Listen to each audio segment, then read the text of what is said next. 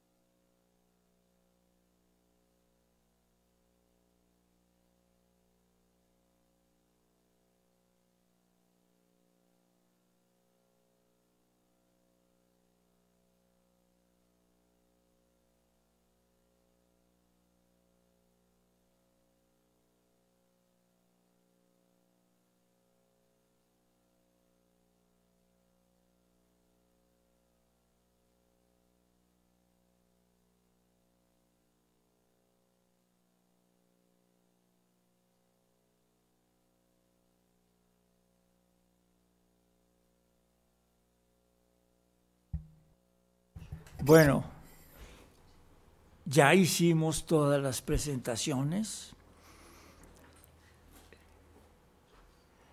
Tenemos al embajador Jorge Eduardo Navarrete. Aquí está con nosotros el embajador Navarrete. Va a participar. Vamos a empezar con el trabajo de Seth Shonkov. Salud pública, dimensiones de salud pública del desarrollo de la industria del petróleo y del gas en Estados Unidos. Adelante. Gracias. Uh, entonces, uh, I'm going to speak in English. um, thank, thank you very much, Dr. Sachs, for, for inviting me here. And um, uh, thank you for all of you who showed up early on this Friday morning. Um, so, yeah, I'm going to be speaking about uh, a lot of the public health oriented data that's been coming out in the peer reviewed literature in uh, the United States. Um, and I will lay out the roadmap pretty soon. So just first to give you a indication of the where we situate ourselves and where I situate myself. Um, I'm the executive director of a group called PSE Healthy Energy. We're an energy science and policy institute, um, and our uh, our uh, major um, overarching mission is to bring scientific transparency to different energy policy issues. And in order to do that, we um, adhere to a three pronged approach. We generate scientific information where there's data gaps, especially data gaps that um, are impeding policy movement. Um, and then we, just like if we were a university lab, um, but then we spend a lot of time translating science into forms that can be easily integrated into the platforms of uh, different types of groups, uh, grassroots, uh, big green, large health organizations, small health organizations, policymakers, et cetera and then we work to ensure that that information is put into the places where it's used to push for and ensure uh, more responsible energy policies. Um, so this is where we're going today, so that everyone feels comfortable and knows uh, where we're headed, because people don't like to feel lost. Um, so I'm going to start with an overview of petroleum geology, um, which is basically uh, why we're all here in the first place for this meeting. Um, if there wasn't oil in the ground in different geological formations, we wouldn't be able to produce it, um, and there wouldn't be very many resultant uh, hazard and risks to public health.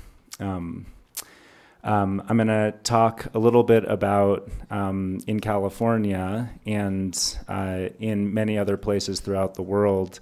Um, I'm going to talk about different types of oil and gas development and what that means for public health. Um, it's not all about hydraulic fracturing or fracking. Um, uh, and I'm going to just go briefly into that.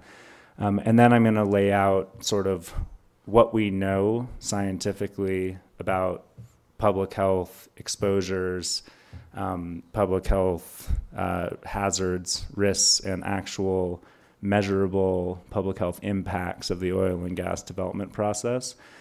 And I'm going to end with uh, talking about some research that we're currently, we have some on, under review at a journal, um, and we're um, moving on some other research in uh, looking at uh, something that is being conducted in California and many other Western states um, probably being conducted elsewhere in the world, but we don't know, which is using oil field wastewater for beneficial reuse. I put that in quotes. Um, such as growing food crops, recharging aquifers, um, and other things. So that's where we're going. Um, okay, petroleum geology. How am I going to do this? Okay. I will just uh, I'll just point somehow. Okay, so at the bottom of this figure, this is a very simplified way of looking at petroleum geology, and in other words, where where petroleum, where oil and gas comes from. So at the very bottom of this figure is a purple band. That purple band is represents something that we would call source rock. Um, this is where oil and gas comes from. This is the mother of oil and gas. Um, a lot of source rock comes in the form of shale. We've heard about shale and shale gas, shale tight oil. That's where oil and gas is cooked and where it gets made. Um, and uh, so when we think about what's going on in parts of Argentina, when we think about what's going on in parts of Pennsylvania in the United States, um, the way that you produce shale gas is you drill a vertical well down to that purple band into the purple band, then you tilt the drill bit sideways and drill all the way through as far as you can laterally through the shale to gain access to as much of it as possible. Then you pump millions of gallons of uh, water, sand, and chemicals down the well at a pressure high enough to fracture the source rock or the shale, um, and then release the pressure. When you release the pressure, all that tightly held oil and gas comes rushing up the production casing of the well, gets collected at the wellhead, and gets sent to market. Um, that is shale gas and shale tight oil development, source rock development. That is actually not what the majority of oil and gas production, that's not the way the majority of oil and gas production happens in the world. Um, what often happens in the world is um, uh, oil and gas from that source rock migrates up fissures and cracks in the subsurface until it hits a place where it can't travel anymore, and that's called usually called a cap rock, and it accumulates into pools, um, which are referred to as, and then pools uh, uh, aggregate into into fields, and that's what we refer to as oil fields um, and gas fields. Um, and so the majority of the oil and gas production in the world, the more majority of a lot of the oil and gas production in, in Mexico, Brazil, et cetera, is from migrated oil and gas deposits. Um, so that's just the petroleum geology. I'm going to talk about some similarities and differences in terms of why it matters for public health, whether we're talking about shale gas development or or other types of oil and gas development. Um, but you know we've seen various figures like this um, yesterday. Um, Mexico is is a major oil player, um, uh, but is starting to see that their oil development is declining. Um, Mexico's oil production actually peaked in 2004 and has been on a decline since. And so there's a lot of um, try, there's a lot of rushing trying to figure out how to get their oil um, production back online so that they can help support their GDP.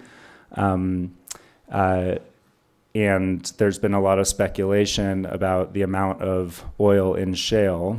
Um, and there might be.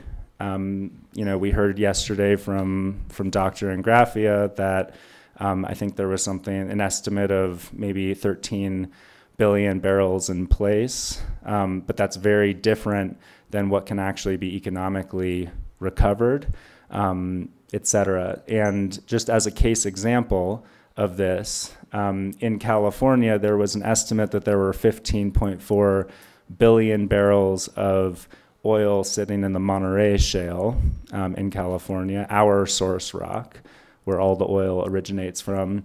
Um, and it sent a lot of hysteria um, and also uh, brought about a lot of excitement on the part of the industry. Um, however, when it was reevaluated, um, it went. The estimate went from 15.4 billion barrels down to 600 million barrels, um, a 96% downgrade. So we need to be very careful about what we, um, where we, where we put our our uh, our expectations on the development of shale. Um, so in California. Um, the majority of oil comes from two places. One is the San Joaquin Valley um, in the center of the state, and the other is Los Angeles, um, the Los Angeles basin. So uh, the amount of oil is in this in this figure is represented by the size of the circle. Um, and let's just look at this for a second. So um, the the green part of the circle um, is is oil production. Okay, and the dark part of that green part of the circle is oil that is enabled by other things other than hydraulic fracturing. The smaller, lighter part of the green circle is what's enabled by hydraulic fracturing. So, as you can see, about 20% of the oil that's produced in the state of California is produced because of hydraulic fracturing, and about 80% of the oil that's produced is produced because of other things like steam injection and water flooding. Um, and the same thing goes for the gas resources as well. Um, and about 90% of all of the hydraulic fracturing takes place in four oil fields in the southwestern corner of the San Joaquin Valley. Um, so, this is this is the first moment um, when we start asking the question: We're California is the third largest oil producing state in the U.S. We're number three. We're right behind Alaska and Texas. Um, and we do engage in some hydraulic fracturing, um, but we engage in a lot of other things. And so, should we be ignoring the other things just because it's not hydraulic fracturing? I would argue no, and I'll continue to explain why. So, this other 80% um, of oil development is uh, attributable to uh, the deployment of enhanced oil recovery. These are a variety of techniques to get oil out of the ground that don't involve cracking anything, fracturing anything. Um, there are two main types of enhanced oil recovery. One is something that Tony actually mentioned yesterday, which is steam injection. Steam injection is when you boil hundreds of millions of gallons of water into steam and you inject it underground um, in order to loosen up uh, very heavy um, oil um, in order to make it able to be pumped up to the surface. Um, we have a lot of this in California, and um, I'm going to talk about the climate dimensions of that, um, as well as some of the health dimensions of that. The other uh, uh, main type of, enhan- of enhanced oil recovery is water flooding, which is basically pumping water down a well, um, not at a pressure high enough to crack anything, to fracture anything, um, but actually to mechanically move um, heavy oil from one well to a production well to produce it. So we we've been hearing a little bit about the climate dimensions of of fracking, but I want to get a little bit more specific here. Okay, so um, so Tony yesterday was talking about the Alberta tar sands. Um, one of the things that the Alberta tar sands is famous for is its carbon intensity, how damaging it is to the climate. And the reason why it's so damaging to the climate is because of mostly because of the way it's produced, and that's because it's produced with steam injection. Um, the emissions, just the carbon dioxide emissions that are um, that are brought about by boiling hundreds of millions of gallons of water with usually with gas is astronomical. Um, and you can see uh, uh, on the, the bottom half where it says Alberta tar sands, um, there are two different types of Alberta tar sands that are kept track of by the California Air Resources Board.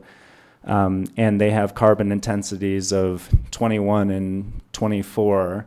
This is grams of CO2 per megajoule delivered to the consumer, but never mind. Um, just understand that that's high. And then if you look above at the California oil scores, there are a number of fields that are actually more carbon intensive, more climate damaging than the tar sands. And we don't hear very much about that. And that has actually, I'm not standing up for hydraulic fracturing at all. um, but from a climate perspective, this is worse than hydraulic fracturing. And we can see this, uh, we can see this here. Um, so these are, uh, these are uh, the 15 most productive oil fields in California by carbon intensity. Um, everything up here on the right uh, is, is heavily steamed. Everything down here on the left is either water flooded or hydraulically fractured. Um, so, from a climate perspective, uh, enhanced oil recovery using thermal means meaning steam injection, that is, it's all bad for the climate. Don't get me wrong, it's all bad for the climate. Um, but enhanced oil recovery using steam injection is the worst for the climate. So, um, who here has taken an environmental health class? Great, a lot to learn. Um,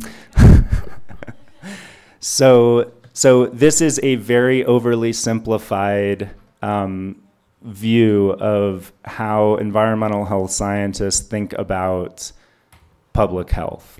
Okay, and again, this is overly simplified. Um, so we always start with a source. So what is the source of the health hazard? In this case, it might be, it is oil and gas development, oil and gas production, okay? Um, then we want to think about emissions. So that might be emissions of benzene, emissions of um, toluene, particulate matter, carbon monoxide, et cetera. Um, but just knowing about what the emissions are doesn't necessarily help you understand whether people are going to get sick or not. Um, you need to know something about the concentration of the pollutant in the environment um, before you can understand how people are being exposed, before you can understand how much um, is actually getting inside people's bodies, and finally, what the health effects of that exposure are. So, um, uh, there was a very large independent scientific study um, that was funded by the California state government um, that was uh, legislated by a Senate bill called Senate Bill 4. Um, and I led the public health, I was brought on to lead the public health work on it. It turned out to be a 2,500 page report um, there were more than 50 researchers working on it from all over California and all over the states. Um, it had an air quality uh, section, a water quality section, induced seismicity, as in earthquakes, um, and uh, and public health. Um, so we spent a year and a half looking at data um, and and piecing it together. Hopefully, data from inside California. When that was uh, not available, we looked at data outside of California, and these were the top seven public health risk factors that we found um, from oil and gas development in the state of California. Um, so the first is oil and gas development um, uh, is associated with elevated uh, uh, toxic air contaminant concentrations near human populations. So if you're close, if you live close to oil and gas development, the chances of you being exposed to elevated levels of air toxics increases. Um, the second is that there are a lot of chemicals that are used in this process, and a lot of them have very little information um, that we can use to evaluate hazard and risk, which doesn't mean that they are free of hazard and risk. No information just means no information. Um, number three, um, we found uh, that there was some real reason to be concerned about the use of produced water, which is the water that comes up with the oil uh, and gas uh, being used to irrigate crops. Um, it, we found that it created um, a potential exposure pathway to people that were that are eating fruits and vegetables grown with this oil field wastewater, um, as well as uh, to the workers working in the fields, growing the food. Um, we also found that a lot of this produced water, this oil field wastewater, uh, was being disposed of in percolation pits um, with the purpose, by percolation I mean percolates into the ground, and the purpose of having a percolation pit is to recharge aquifers. So it's being treated as a benefit as a, as a benefit to the state by refilling uh, aquifers um, with water that happens to be oil field wastewater. Um, we also found that, um, and this is this is specific to hydraulic fracturing. Um, we found that uh, there was there were a number of cases of hydraulically of, of hydraulic fracturing very near uh, aquifers that were used for drinking water. So by very near, I mean near enough so that when the hydraulic fracture happened, um, the cracks that were created by the hydraulic fracture could actually intercept aquifers delivering hydraulic fracturing chemicals um, and, and other contaminants into an aquifer. Um, uh, we also found that oil field wastewater um, is, and this is confirmed, is still currently being injected into aquifers that are of high quality um, and could be used in the future for drinking water or agricultural irrigation. They may not be used for them right now. We're not really sure. Um, and lastly, from an occupational health perspective, uh, um, the sand that gets included in hydraulic fracturing fluids uh, is in order to keep the cracks that are created propped open when the pressure is released. And that sand is pure silica. And silica is associated with a respiratory, a lung condition called silicosis if um, people are exposed in high enough concentrations. Um, so 2,500 pages of research boiled down into seven bullet points. You're welcome. Um, um, for this talk, because I don't have as I don't have time to go over 2,500 pages, I'm just going to focus on four of these points. So, air polluting emissions and public health. This is the San Joaquin. This is th this is uh, on the on the right is uh, the the extent of our shale basin. And remember, shale is the source rock. It does not mean that there is oil everywhere, um, uh, but it is the aerial extent where oil can exist. Oil doesn't exist very far away from the source rock. Okay, um, so as you can see. on the left, that's our air quality, um, specifically our, our ozone uh, pollution. Um, and as you can see, uh, there's a very tight overlap between where oil and gas is produced in the state of California and where air quality is horrible. Um, in the San Joaquin Valley and in Los Angeles, these places are consistently, um, they consistently have the worst air quality in the United States. Um, and they also are home to um, uh, disproportionately high concentrations of low income people of color. So this is a cumulative environmental burden. I'm not saying that oil and gas development is the reason for all this poor air quality. It definitely contributes to it. But there are a lot of different sources, a lot of different reasons why air quality is degraded in these places, and oil and gas um, adds another stack on top of that um, and creates an environmental justice issue. Um, so for for everyone who and all the industry talking points that you know it's you know there's no problem with air quality, there's no emissions of air toxics. Um, that that is that is actually completely wrong. Um, in California, we have fairly tight regulations, comparatively speaking, to other places. Um, but what we found was that there were um, there was quite a bit of toxic air contaminant uh, emission from these sources. So this is the San Joaquin Valley. This is where oil is uh, most of the oil is produced.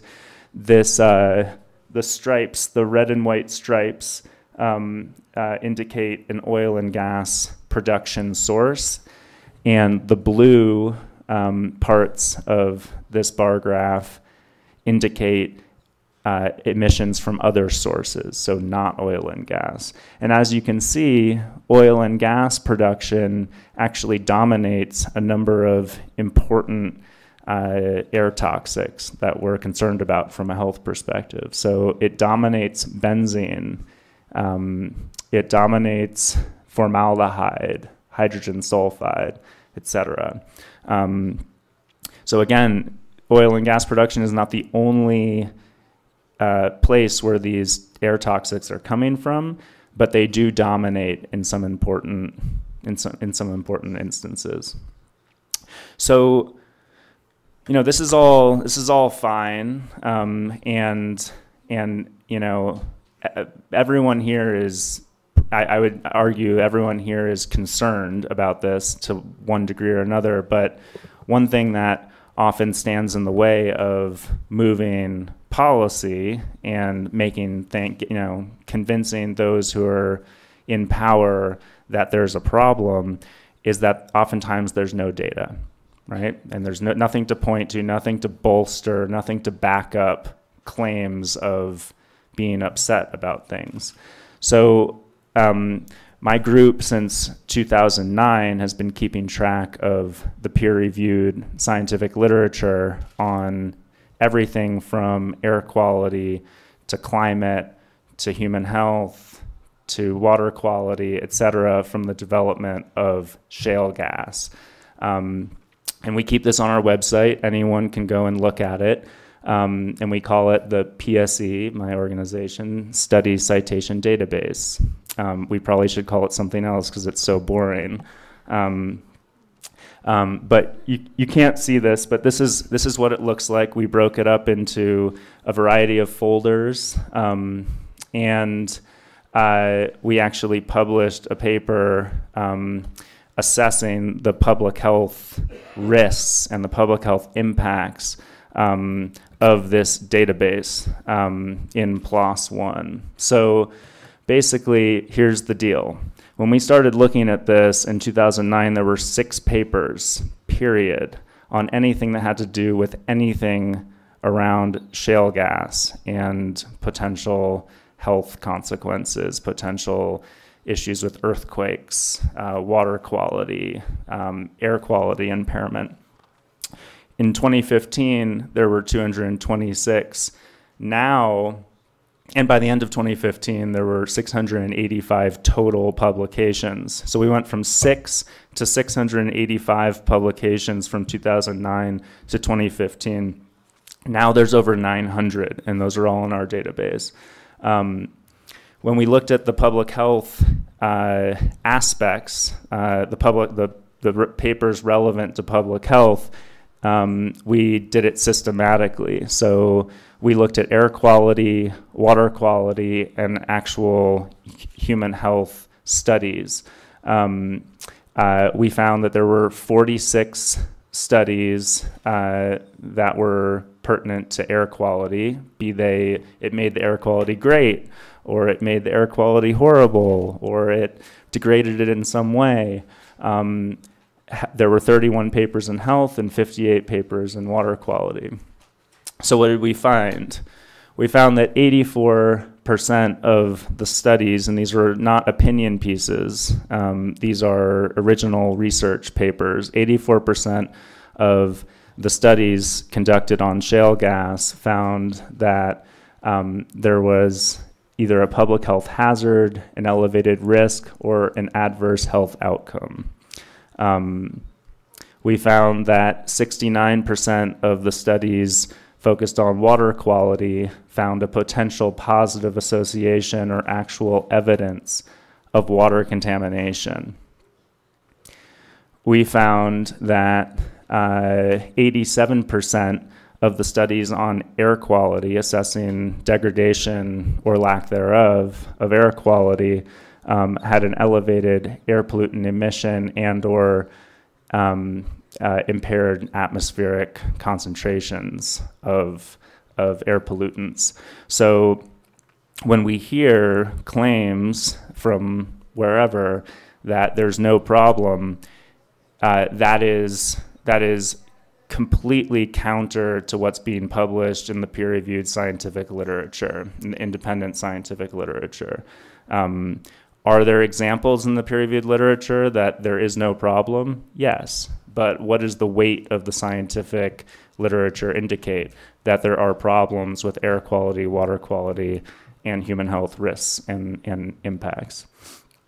So some of these studies um, have looked at density of oil and gas wells um, and uh, and looked for uh, various health outcomes. Um, so in this one study uh, published last year, uh, they looked at uh, increased density of oil and gas production um, and uh, found that um, when they looked at hospitalization records that there was a dramatic increase in cardiology, neurology, and other uh, intakes uh, in, in that region.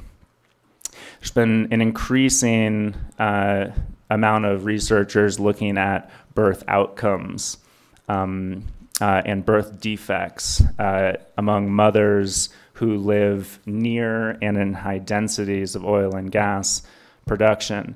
This study was the first one. It was published in 2014. It's out of Colorado in the United States. Very densely, um, uh, very, very dense oil and gas development. Some of it is hydraulic fracturing, some of it's not. Um, what they found was um, that mothers who lived in the highest density of oil and gas production, meaning more than 125 wells per square kilometer, compared to mothers living in the lowest density of oil and gas production, meaning no oil and gas wells for 10 square kilometers. Mothers living in the high density were twice as likely to give birth to a baby with neural tube defects um, than mothers living um, without oil and gas development. And they found a, a, a, similar trend with congenital heart disease. Now, what's interesting here um, is that uh, when you hear neural tube defects um, from an environmental source, the first thing that an epi- environmental epidemiologist will think about is benzene, right? Um, now, benzene is not typically added to hydraulic fracturing fluids. It, it is sometimes if they're using diesel um, or other things in hydraulic fracturing fluids, but it is intermingled and co emitted with oil and gas production. So, um, this is one other instance when we have to ask the question are we focused on fracking or are we focused on oil and gas production? Right? It doesn't matter if a well is steamed water flooded, or hydraulically fractured. It's all to produce oil and gas. And always, when you produce oil and gas, you're going to also be producing things like benzene. Okay. Um, another study out of Pennsylvania by a colleague of mine. We're actually working on a birth outcome study in California right now. Her name is Joan Casey, and she published this in the Journal of Epidemiology. She didn't find any evidence of birth defects, but she did find evidence of um, uh, increased risk of preterm birth. Um, preterm birth means babies being born before 37 weeks, so um, uh, just a, a, premature a premature birth, um, and also found that density and distance from oil and gas um, development uh, was was associated with that. Other studies have looked at asthma, also have found that people living in high densities of oil and gas development suffer more from asthma exacerbations than people who uh, live live elsewhere. So, um, in approaching this in our work in California, um, we don't have a lot of great information on emissions.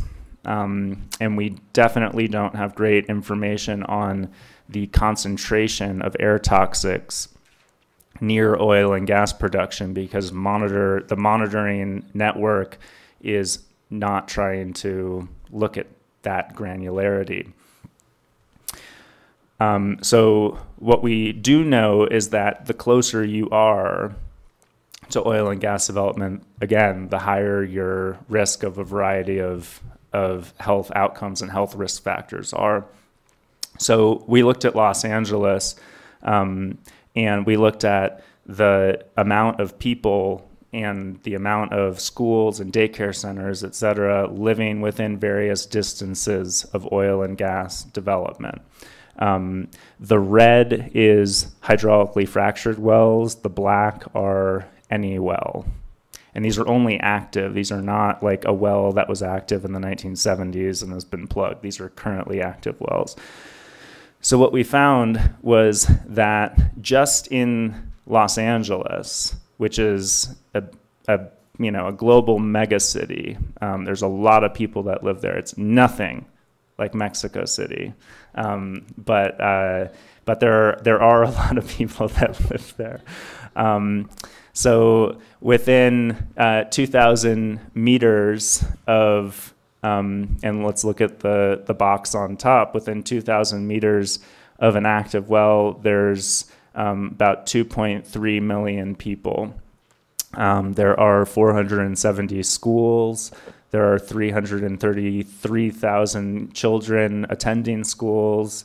Um, uh, there's 718 daycare facilities, uh, et cetera, et cetera, et cetera. So while we can't say for, with, with certainty what the impact on these populations um, has been and will be in the future, we can say that based on the data that has been collected, the weight of the evidence from outside of California, that we would expect that there be that these populations would be at increased risk of a variety of, of, of health, uh, poor health outcomes.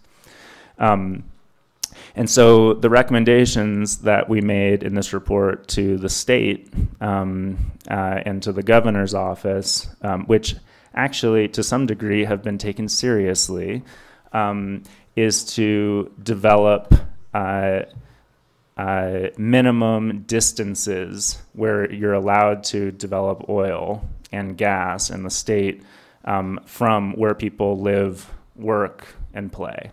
Um, and the Air Resources Board, who regulates air quality, is actually has created a work group to, to start to, to move on implementing this recommendation, which is very exciting.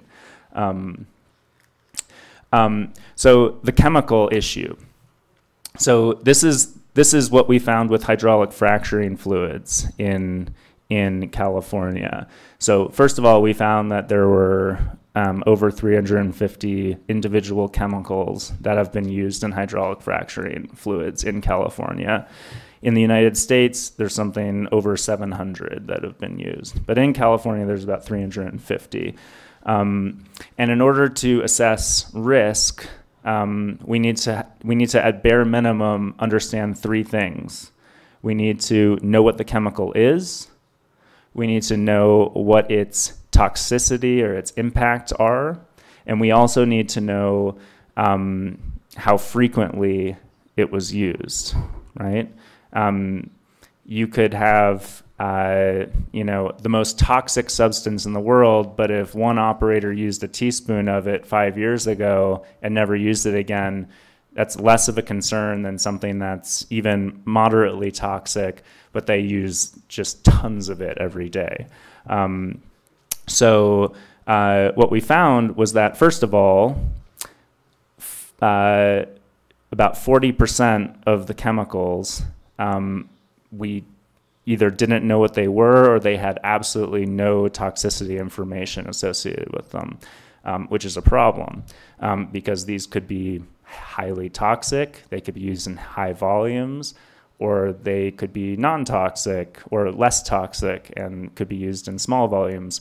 And we can't say at all whether like what the what the risk what the risk is of that because we don't know what they are and that makes scientists, communities, regulators should make regulators very uncomfortable. Um, um, we also found um, that you know there was information available for about 60% of them.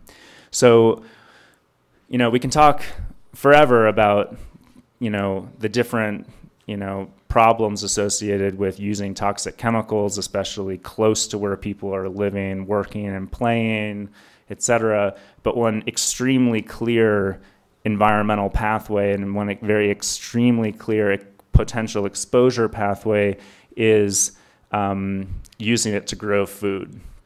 So, California is water strapped. We are dry. Um, we're in a very big drought and um, people are always looking for new sources of water. Um, one of those water sources that they've come across has been just this unbelievable amount of produced water from oil fields.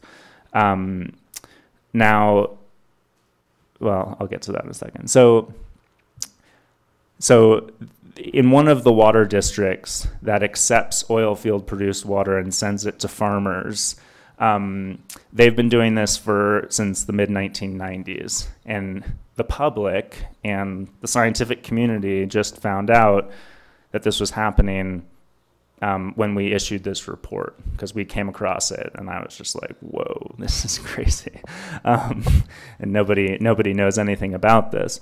Um, um, so again, we need to be thinking about uh, who is eating the food. Does the chemi- do the chemicals go into the food? Um, is are they on the food? Um, what about the workers? When you irrigate, is it spraying all around? Are they inhaling it into their lungs? Um, are they drinking out of irrigation ditches? Are people fishing out of irrigation ditches? Um, et cetera, et cetera, et cetera. And we're starting to learn a little bit more about that.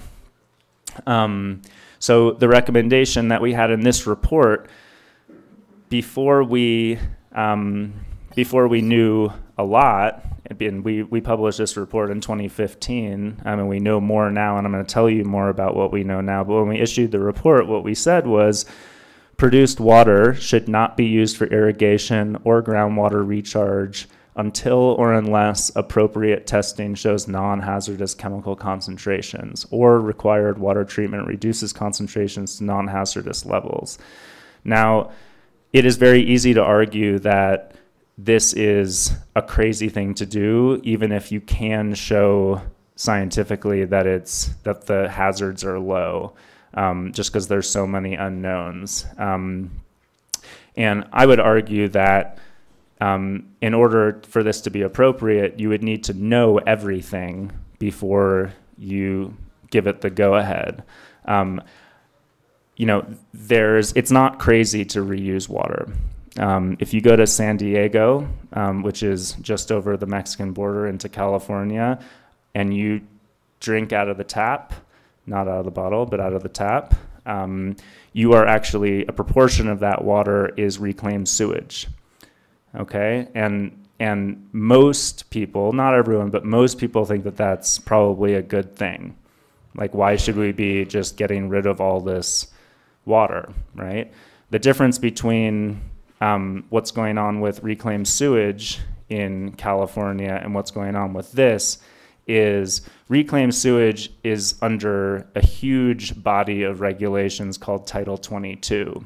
And Title 22 was developed over 10 years. They spent 10 years developing uh, protocols, regulations, um, uh, doing study after study after study till they got to a point where they were like, okay, we can do it like this, only under very strict circumstances. On the other hand, with oil field wastewater, they're producing the water, skimming the oil off the top, running the water through walnut shells, and irrigating crops. That's it. There's very little.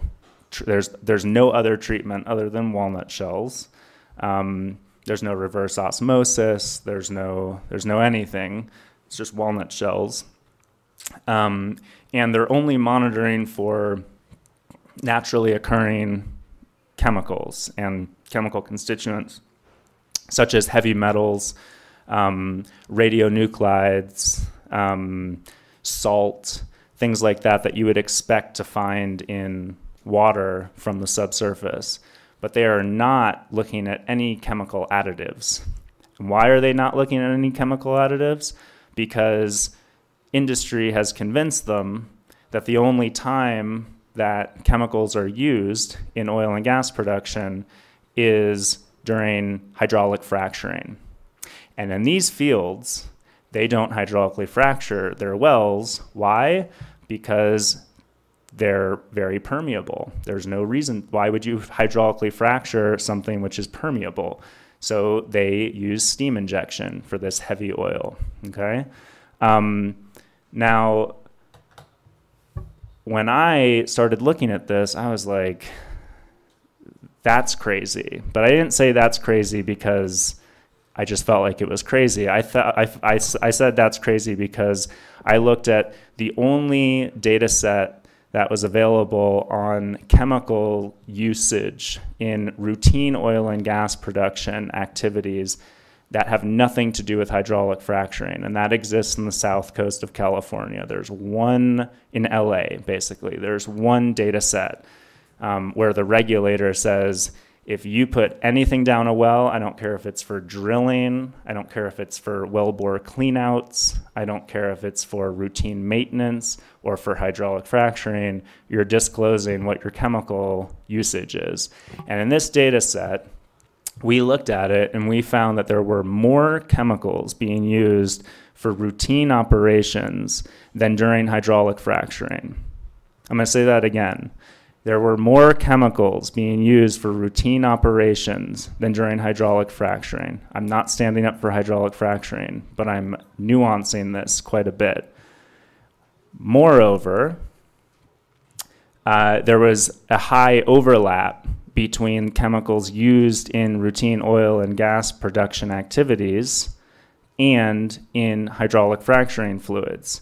So, this whole notion that hydraulic fracturing fluid chemicals are more toxic than anything else that gets used throughout the oil and gas production process is probably false. It's, there's a lot of toxic stuff being used throughout the oil and gas production process. So when we looked at this data set and we looked, we, we took all the hydraulic fracturing chemicals in that data set and excluded them. We just said, we don't care about you right now. We're just looking at what's happening in day to day routine oil and gas development. What we found was that there were actually more chemicals that were unknown um, than chemicals used in hydraulic fracturing. We also found that 10 of them are on the Prop 65 list. In California, we have a law called Proposition 65, which mandates the disclosure of, um, of chemicals known to the state to cause cancer and reproductive harm. Um, we found that uh, a lot of the chemical additives were on the US EPA National Primary Drinking Water Standard and Health Advisory Chemical List. Um, we found that more than 20 of these compounds were of the most toxicity concern for mammalian, uh, acute mammalian toxicity, and more than 100 were on were sort of the most concern for ecotoxicity, meaning uh, impairment of uh, waterways, et cetera, for fish, macroinvertebrates, and, and other, other aquatic biota. Um, so again, um, you know, this is a picture of, uh, of a sign that you see in various parts of California saying like, you know, don't touch this because it's being irrigated with reclaimed sewage. Um, uh, again, it, it's it's it's there are crazy parts about this, but it's not crazy to reuse water. Um, but it is crazy to reuse water when you don't know what's in it and when you're not monitoring it properly. Um, so uh, the last thing that I'm going to cover is uh, actual uh, groundwater recharge. What we did was, um, you know, a, a, lot of a lot of the produced water, a lot of the oil-filled wastewater is being sent to these percolation pits again to um, to recharge aquifers. And while that is probably always not a good idea unless you know what's in it, which we don't. Um, uh, unless you can show that it is non toxic, which we certainly can't because a lot of this water is toxic. Um, it would be one thing if they were just recharging aquifers that were of very poor quality, right? Super saline or contaminated with a huge amount of arsenic, which is naturally occurring in, in this area in California um, and in other places. It would be quite another thing if they were recharging aquifers of high quality, especially in a water uh, a water poor place like California. Um, and so what we did was, okay, let's look at where all of the good water is, the good groundwater in this area, and then let's overlay where the pits are. And as you can see, each one of these dots is a pit, and anything that's blue is uh, is is good drinking water according to the U.S. Environmental Protection Agency. And as you can see, there's quite a bit of overlap, actual like pits on top of good groundwater, and there's a lot of pits that are close by to good groundwater. And for those that are hydrology people, um, groundwater generally doesn't just sit in a pool, it moves. It's like a river underground. Um, so, uh, we uh, said that that was crazy to do and shouldn't be done unless you can prove that the water that you're using to recharge aquifers is non hazardous. So, thank you very much.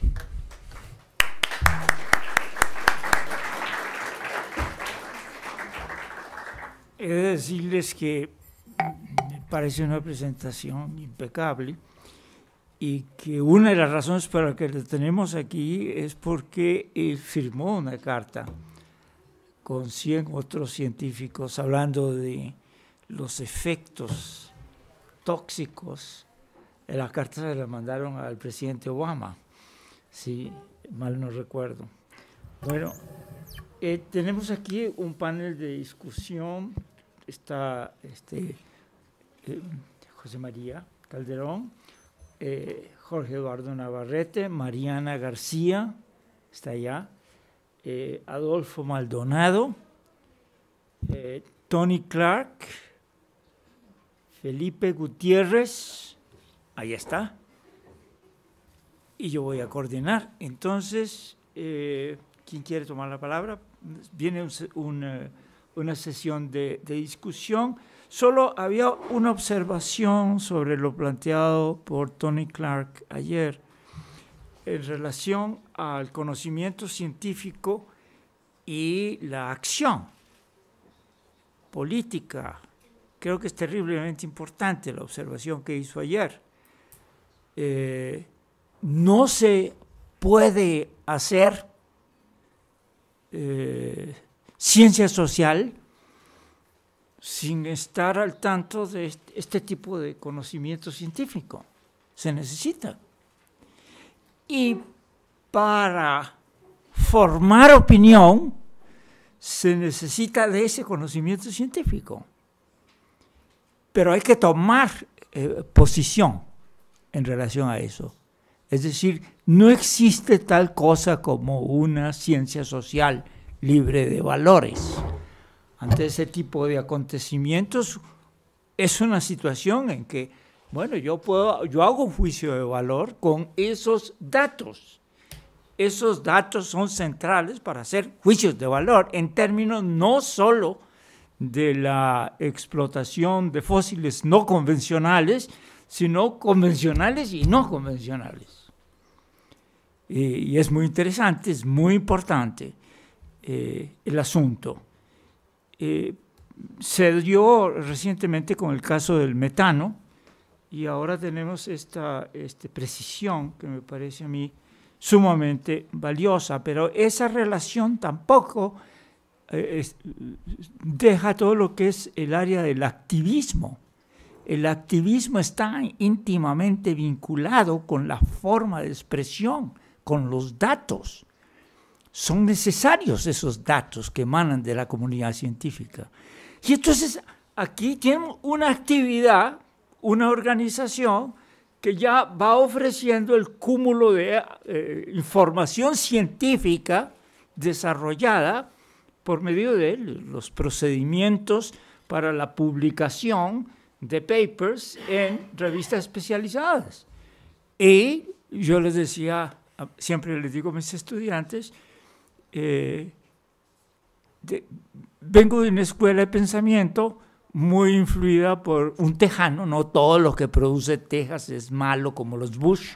Hay cosas magníficas que produce Texas, como Sir Wright Mills, que nació allá y que nos enseñó que era muy importante en la ciencia social escribir claramente para que todo el mundo entienda, no en un lenguaje, no se vayan a enterar los demás, entonces desarrollamos un metalenguaje o matematizamos las cosas para que nadie entienda qué es lo que estamos diciendo. Si lo que se trata es uso público de la razón y formar conciencia, pero formar conciencia con dato sólido. Y esa es eh, la contribución me parece de, mayor importancia eh, en estos momentos. Y la otra, una observación que hizo Adolfo Maldonado ayer a raíz de una comunicación que tuvo con eh, un sabio de la población indígena que le dijo la importancia que tenía la palabra para ellos eh, definir cuáles eran las enfermedades que podían tener y cómo curarlas, los conquistadores les quitaban la palabra. Nosotros tenemos problemas ahí también en las universidades, en los procesos de privatización. Nada más quería mencionar eso. Por ejemplo, yo, yo soy profesor docente y de vez en cuando tengo que hacer un informe. Y cuando hago el informe ahora me dicen productos, no me dice libros ni me dice artículos, sino productos. Luego me dice formación de capital humano o algo así. No, son estudiantes. Eh, hay, un, hay un debate y si en ese debate hay alguien que está asumiendo cuál es el vocabulario que se va a usar en el debate, pues gana. Y lo que tenemos con el Banco Mundial, con el Fondo Monetario Internacional, con el Banco Interamericano de Desarrollo es algo muy parecido en términos de robo de, lenguaje. Quitan, agarran los conceptos, les los vacían y le ponen lo que les da la gana, como lo hizo Hart y Negri con la palabra imperio. Eh, entonces, nos quita palabras o nos, nos dan palabras. Pero es muy importante, los conceptos son terriblemente importantes, la precisión es sumamente importante y aquí tuvimos un ejercicio de precisión. Es que la industria, la actividad es muy tóxica en su este, totalidad. Y entonces, eso me parece de primera importancia. La otro problema que tenemos es con esas instituciones financieras internacionales, porque las llamamos superficialmente instituciones financieras internacionales, pero no son instituciones simplemente financieras internacionales, eso es parte, pero ellos son instrumentos, son entes que operan bajo el Departamento del Tesoro de los Estados Unidos. Son entes de Estado. El Fondo Monetario Internacional, el Banco Mundial, el Banco Interamericano de Desarrollo. Podrá tener una colectividad, pero todo el sistema de votación manejado fundamentalmente por Estados Unidos. En la votación de lo que se va a hacer con el Banco Mundial o con el Fondo Monetario Internacional. ¿Han visto ustedes un presidente del Banco Mundial que no sea estadounidense? Recuerdo cuando pusieron ahí a Wolfowitz. Se lo pone a Wolfowitz ahí, ¿por qué? Pues porque lo decidió el presidente. El National Endowment for Democracy, ¿qué es eso? Pues un instrumento propuesto por un director de la Agencia Central de Inteligencia, el señor Casey, a Reagan, en 1983 para formar un grupo que tenga una apariencia más o menos civil para desmantelar países que, o regímenes que no convengan mucho. Pues entonces tenemos que tener cuidado con las palabras. Eh, palabras como, como, esta son entes subrogados del Departamento del Tesoro. Entonces es, importante porque si, no tenemos la definición correcta. Si decimos, ah, son IFIs, International Financial Institutions, bueno, ya uno queda con la idea de vaga, de no. Y eh, recuerdo muy vívidamente que el secretario del Tesoro en 1944, cuando se fundó este, o se estableció en Bretton Woods eh, estas instituciones, no el Banco Interamericano de Desarrollo, eso vino después, dijo, estas Fondo Monetario, Banco Mundial, son instituciones a ser manejadas por empresarios con espíritu empresarial. Henry Morgenthau, cita textual. Es decir, es un instrumento de Estado, pero es instrumento de clase. Entonces, ¿con qué estamos tratando? Con eso en este tema estamos tratando con eso, en el sentido de que aquí en México pues son programas de ajuste estructural para el sector energético. Y viene con un financiamiento, viene con préstamos, vienen en préstitos para la modernización agraria, para la modernización del sistema energético, sí, para todo un proceso de administración de la política económica de corte colonial. Prácticamente es una administración que está ahí. Y los, decía Rodrigo Carazo, los, nosotros los presidentes, era presidente de Costa Rica, nos comportamos como country managers de estos programas, de estos jugosos, además, eh, empréstitos que van a llegar a formar parte de la deuda externa del país y que viene con comisiones muy gratificantes para los altos funcionarios que las eh, ponen en operación. A eso eh, Joseph Stiglitz lo llamó préstamos de sobornización. Y tenía razón. Wolfowitz, perdón, este, Stiglitz. Bueno, eh, entonces aquí tenemos este, la importancia de los conceptos y la importancia de la precisión, y no solamente la importancia de la precisión, sino el hecho de que tenemos a disposición los trabajos de esta temática y cada vez más es esencial. Por eso eh, la investigación en las universidades y especialmente en las universidades públicas y la vinculación entre la educación y la docencia es absolutamente esencial y es algo que hay que, que, hay que preservar. Bueno, entonces abro la discusión, los miembros que ya cité, adelante. Jorge Eduardo Navarrete, adelante. puede hablar en eh, español, por favor. No, quiero castigar a nadie eh, bueno, primero, muchas gracias por una presentación tan rica en elementos de información. Oh, oh.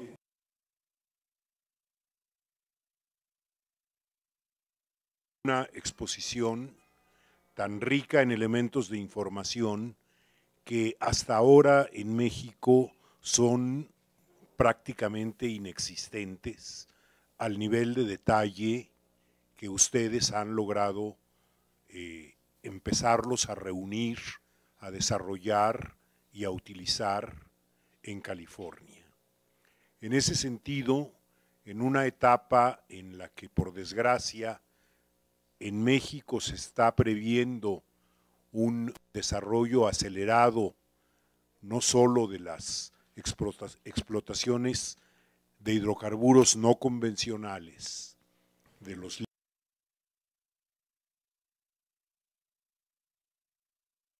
la de los hidrocarburos convencionales en nuevas provincias, eh, es muy importante que nos apoyemos en experiencias previas eh, como las que aquí se describieron. Quisiera mencionar brevemente dos cuestiones antes de ofrecer algún comentario y plantear algunas preguntas relacionadas con la presentación. El primer punto previo tiene que ver con lo que nos acaba de decir John Saxe del valor de las palabras, del valor de los conceptos que están detrás de las palabras y de la erosión que esos conceptos sufren o de la transformación que sufren cuando las palabras se usan de manera descuidada o con propósitos que no, necesariamente se manifiestan claramente. Eh, Gustavo Esteva publicó apenas este domingo último en la jornada un excelente artículo que contiene una reflexión sobre el uso de palabras que han sido sobreutilizadas con intencionalidad política que no siempre se, se, pone en claro.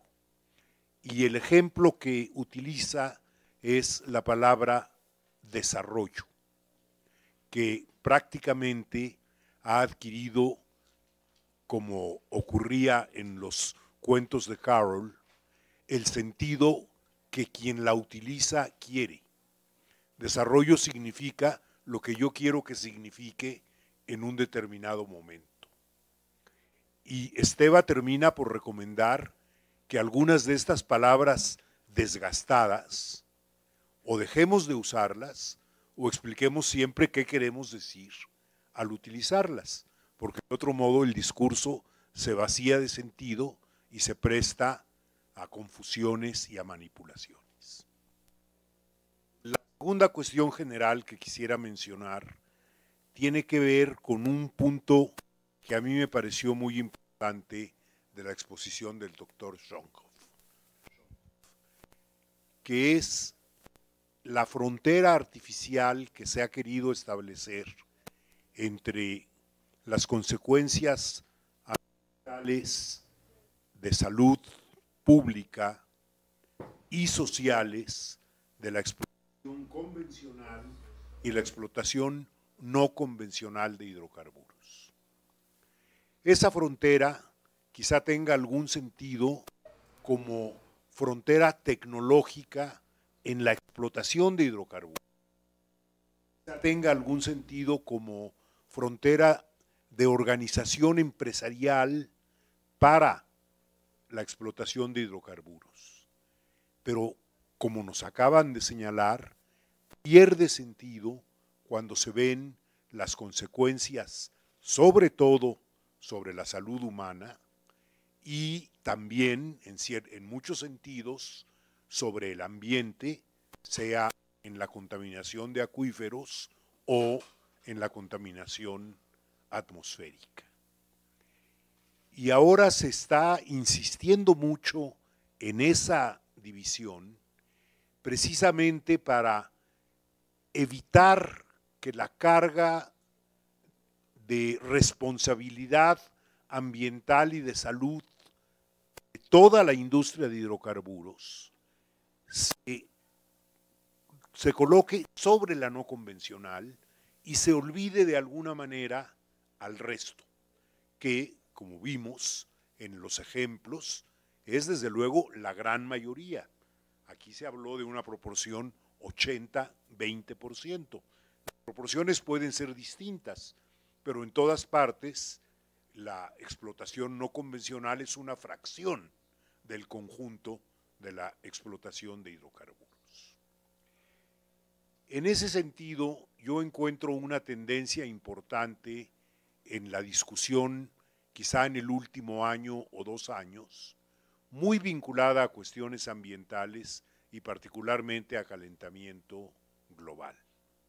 Cada vez más aumenta el cuerpo de opinión científica sólida sobre la necesidad de olvidarse de la explotación de nuevos recursos de hidrocarburos, sean convencionales o no convencionales. Desde luego, hay quien señala que lo que hay que hacer es establecer límites para explotar lo ya descubierto, porque tratar de aprovechar todo lo ya descubierto podría resultar suicida en términos ambientales y también en términos de consecuencias más inmediatas sobre la salud pública. Y un primer paso podría ser poner un límite, un tope, no me atrevo a pensar todavía en una prohibición por el peso de los intereses económicos y políticos contrarios a ella, de exploración de nuevos, de nuevas provincias, de nuevos yacimientos. Si no vamos a poder utilizar eh, lo que ya está localizado, ¿qué sentido tiene tratar, seguir pagando los costos ambientales y de, salud, y de salud para localizar recursos que probablemente, si nos comportamos racionalmente, nunca se utilicen.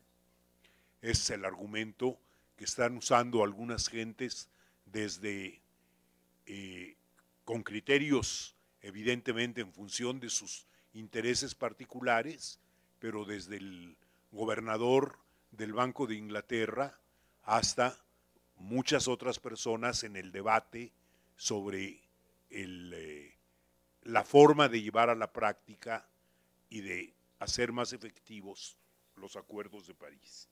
Pero en fin, lo que quisiera entonces ahora es destacar algunos puntos específicos de la presentación eh, que acabamos de, escuchar. Creo que el elemento clave, y lo, ya lo señaló eh, John, es la utilización de esta información científica para dar base y fortaleza a las plataformas de acción pública. No es una cosa que pueda hacerse automáticamente de un día para otro, que supone un trabajo sistemático en la academia, en las organizaciones de la sociedad civil y sobre todo un mayor grado de conocimiento y conciencia de los problemas a los que se están enfrentando. La otra conclusión es que necesitamos prestar atención, ya lo dije, no lo voy a eh, argumentar de nuevo, pero es una conclusión importante, al conjunto del sector de hidrocarburos y de otras actividades vinculadas con el mismo y no al que se nos presenta y en algunos casos es el más dañino en relación a un elemento en particular, contaminación de mantos acuíferos o cualquier otro elemento aislado de los demás. Necesitamos ver la visión de conjunto y mirar las consecuencias de conjunto. México está dejando de ser un jugador importante en el eh, mundo petrolero. Eh, tenemos, traemos una tendencia de rápido de crecimiento de los niveles de producción, de los niveles de reserva. Oficialmente se espera recuperarlos por la vía de la llamada reforma energética. Si uno ve las tendencias de mediano y largo plazo en el sector petrolero y en su conexión con otras actividades en el mundo, no puede ver desde el punto de con, con optimismo oficial esa perspectiva, por fortuna. Yo creo que la promesa de convertir a México nuevamente en un productor rápidamente creciente de hidrocarburos, como ocurrió en los ochentas, eh, no, por fortuna no se va a repetir. Pero manejar lo que tenemos es un problema económico, ambiental, de salud y un problema político. Agradezco mucho la forma en que se resumieron más de 200 páginas de estudios científicos en una lámina de siete puntos. Es una lámina que vale la pena tener en mente, leerla, releerla, estudiarla y entenderla bien. A mí el que más me llamó la atención de los siete fue el de la reutilización de aguas que vienen de la fractura hidráulica o de la inyección de vapor en los servicios públicos de, distribución de agua para riego o para uso humano. Como dijo el ponente, uno no puede oponerse a todos los reusos. Es más, el reuso es un componente positivo indispensable en muchas operaciones de rescate ambiental y de evitar el deterioro, pero no puede reutilizarse eh, los recursos sin tener una idea muy clara de las consecuencias de esa reutilización sobre una gama muy amplia de factores. Y creo que los ejemplos que él nos dio eh, alrededor de esa de ese particular problema, que no necesariamente es más grave que otros de los siete que se mencionan, pero que puede ser uno de los que más fácilmente puedan realizarse. Él nos decía que es prácticamente una decisión de las autoridades hídricas de una región, en este caso el estado de California, que enfrenta una emergencia hídrica y que está dispuesta en cierto momento a tomar cualquier agua disponible, sin preocuparse demasiado, y aunque, pero sabemos todos y reconocemos todos el enorme esfuerzo de regulación ambiental que se ha hecho en California, quizá el más avanzado en el, en el, en el mundo. Las recomendaciones a las que también se aludió me parece que están bien fundamentadas, pero que, por ejemplo, si queremos aplicarlas al caso de México, tenemos que buscar la manera de también fundamentarlas bien. Una de las licitaciones, de las convocatorias de la llamada ronda 2 de licitaciones el año próximo se va a referir a recursos no convencionales. O sea que hay una ventana de oportunidad, quizá de uno a dos años, para que tratáramos de desarrollar un bloque mínimo de conocimientos sobre consecuencias y sobre acciones de política. Él habló, por ejemplo, de distancias mínimas entre la zona en que se realiza la explotación petrolera y las zonas de concentración urbana o de, o de asentamientos humanos en general, de distancias mínimas entre lo primero y los mantos acuíferos localizados y en uso o los mantos acuíferos localizados para uso futuro. Y en, en México estos recursos están básicamente en áreas nuevas y hay que ver cómo están esas distancias y hay que tener el conocimiento que no tenemos en general en el país sobre el tipo de consecuencias que se han estudiado en California y cuyo estudio realmente nos permite ir más rápido eh, al examinar los casos concretos que nos, que nos interesan. Yo no quisiera nunca ser acusado de hablar más largo que el ponente. Muchas gracias.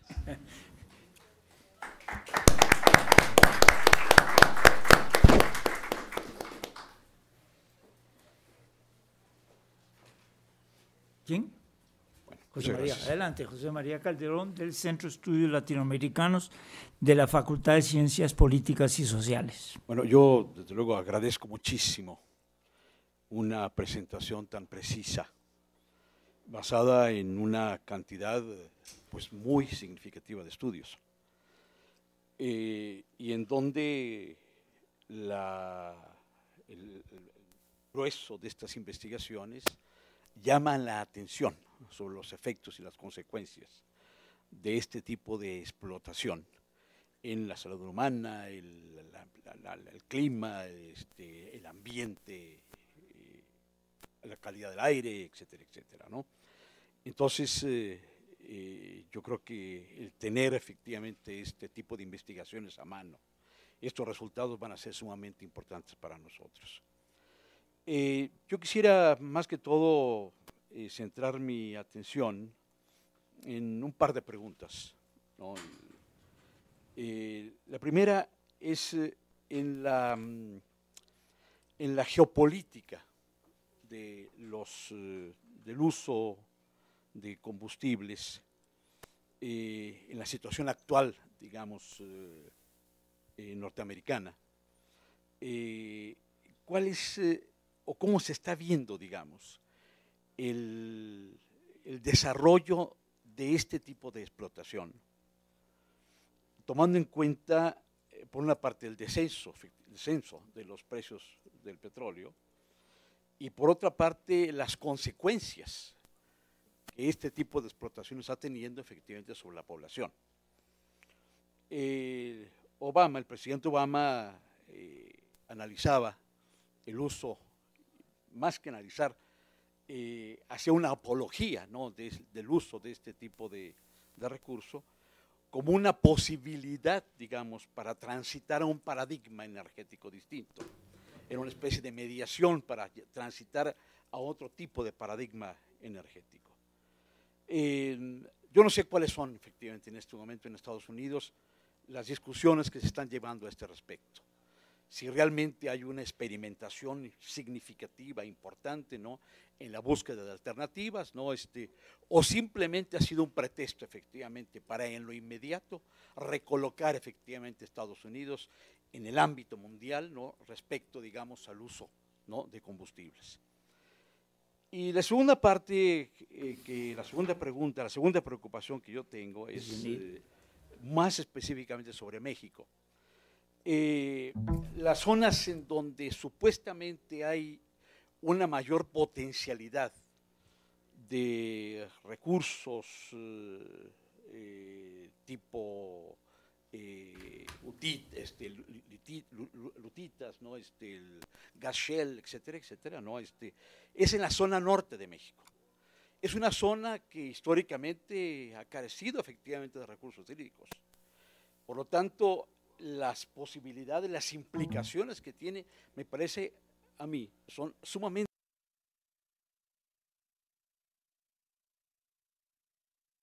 recursos que se requieren son de enormes cantidades de agua que se, que se sustraerían tanto a la población como a la agricultura. Entonces, yo creo que tenemos aquí un aspecto de carácter estratégico, de preocupación fundamental para nosotros, en buscar la forma de evitar efectivamente que este tipo de explotaciones o de explotación se lleve a cabo en nuestro país. Entonces, eh, tenemos que pasar no solamente, digamos, de una más cuidadosa investigación, sino también ya acciones políticas más prácticas, ¿no? que no pueden efectivamente eh, dejarse simple y llanamente, o no, no puede dejarse simple y llanamente a la acción exclusiva del gobierno, el tipo de opciones o estrategias que actualmente está planteando a este nivel. Y agradezco desde luego la invitación de John y esta estupenda intervención del doctor Shankov.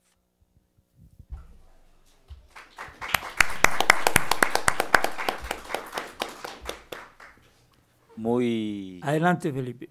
Gracias. Muy brevemente y en línea con lo que se venía señalando, em, me parece interesante destacar el hecho, a ver, cuando uno hace una, una disputa con una industria tan compleja como la, la petrolera, también podría ser la minera, eh, la generación, el levantamiento de datos precisos es clave. De hecho, históricamente se, nos corrieron por ese lado, ¿no? Te decían, eh, bueno, pero tú no eres técnico petrolero, entonces no tienes eh, habilidad o, la capacidad para discutir este tipo de temas.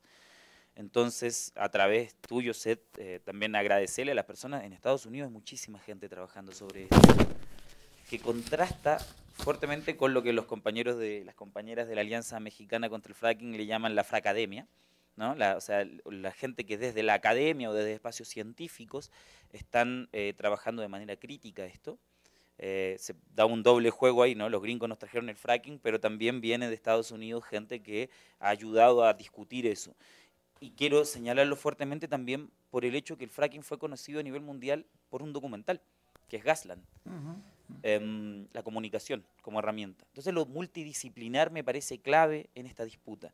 Tenemos comunicadores, tenemos cineastas, tenemos eh, médicos, eh, científicos de todo tipo, ¿cierto? Geógrafos, geólogos, eh, que son la gente que nos ha ido ayudando a tener las herramientas para dar esta disputa. Em, entonces, la verdad que, toda esta información que, nos llega constantemente desde Estados Unidos, hay un, caudal muy grande de información. Hace poco se, tradujo, se están traduciendo los compendios de, información sobre salud que se están haciendo respecto del fracking en Estados Unidos.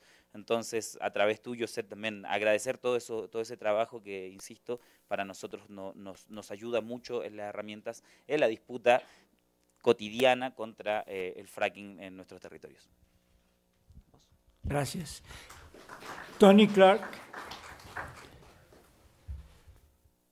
Yeah, I uh, want to reiterate the praise for, for the presentation that you made, and uh, and the value of that of that knowledge and the value of that scientific uh, backup, which is so critical. And as was mentioned by uh, John Sachs before we began, how important the connecting between that and activists is. And I just want to pick up on that a little bit and pick up on some of the points that have been made too as well here. Um, I, I want to go back to last night and Bianca's presentation, and I didn't get a chance to say something because we ran out of time. But uh, but in the case of Bianca, she was she was one of the things that she was talking about was that this is the country of Brazil is has more fresh water than any other country in the world. And this is an incredible resource that exists there. Yet she was also talking about the huge amount of pollution and chemical contamination and so forth that's going on within the country itself. Sorry, within this country itself. And uh, so, you know, picking up on that and understanding that, she also mentioned last night and referred to the largest aquifer in the world, which is the Guarani Aquifer. Now, that borders on four, at least four countries, not only Brazil, but Uruguay and Paraguay and, uh, and Argentina, of course. So it, it's, but, but it's a huge resource for, for, for, the, for the planet. And yet it is constantly and often, frequently, in, I mean, in danger. And then there was a concern expressed again by Bianca last night that, that uh, hydraulic fracking may be getting very close to there, and, but nobody knows what the impacts are. So I want to come around to the role of the, that you see for PSE and where you see yourself going with this, and I think you understand what I'm going to ask here. And that is, could you say something about what is the method, methodology and tools that would be utilized for trying to figure out how much impact hydraulic fracking may be having on the walls of the, of the uh, Guarani aquifer? And secondly, related to that, is this a service that can be provided by PSE to uh, water activists in Brazil like Bianca?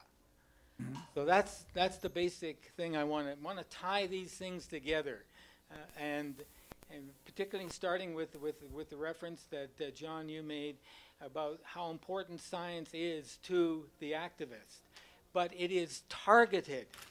Somebody mentioned this a moment ago. I, I think it was a Philippe. I, I can't remember. Me mentioned it a moment ago about you know, it's not not just science in general or whatever. Although we must respect, as you keep pointing out, that uh, what we're dealing with here is not just hydraulic fracking, but the whole oil and gas industry itself and the model of production.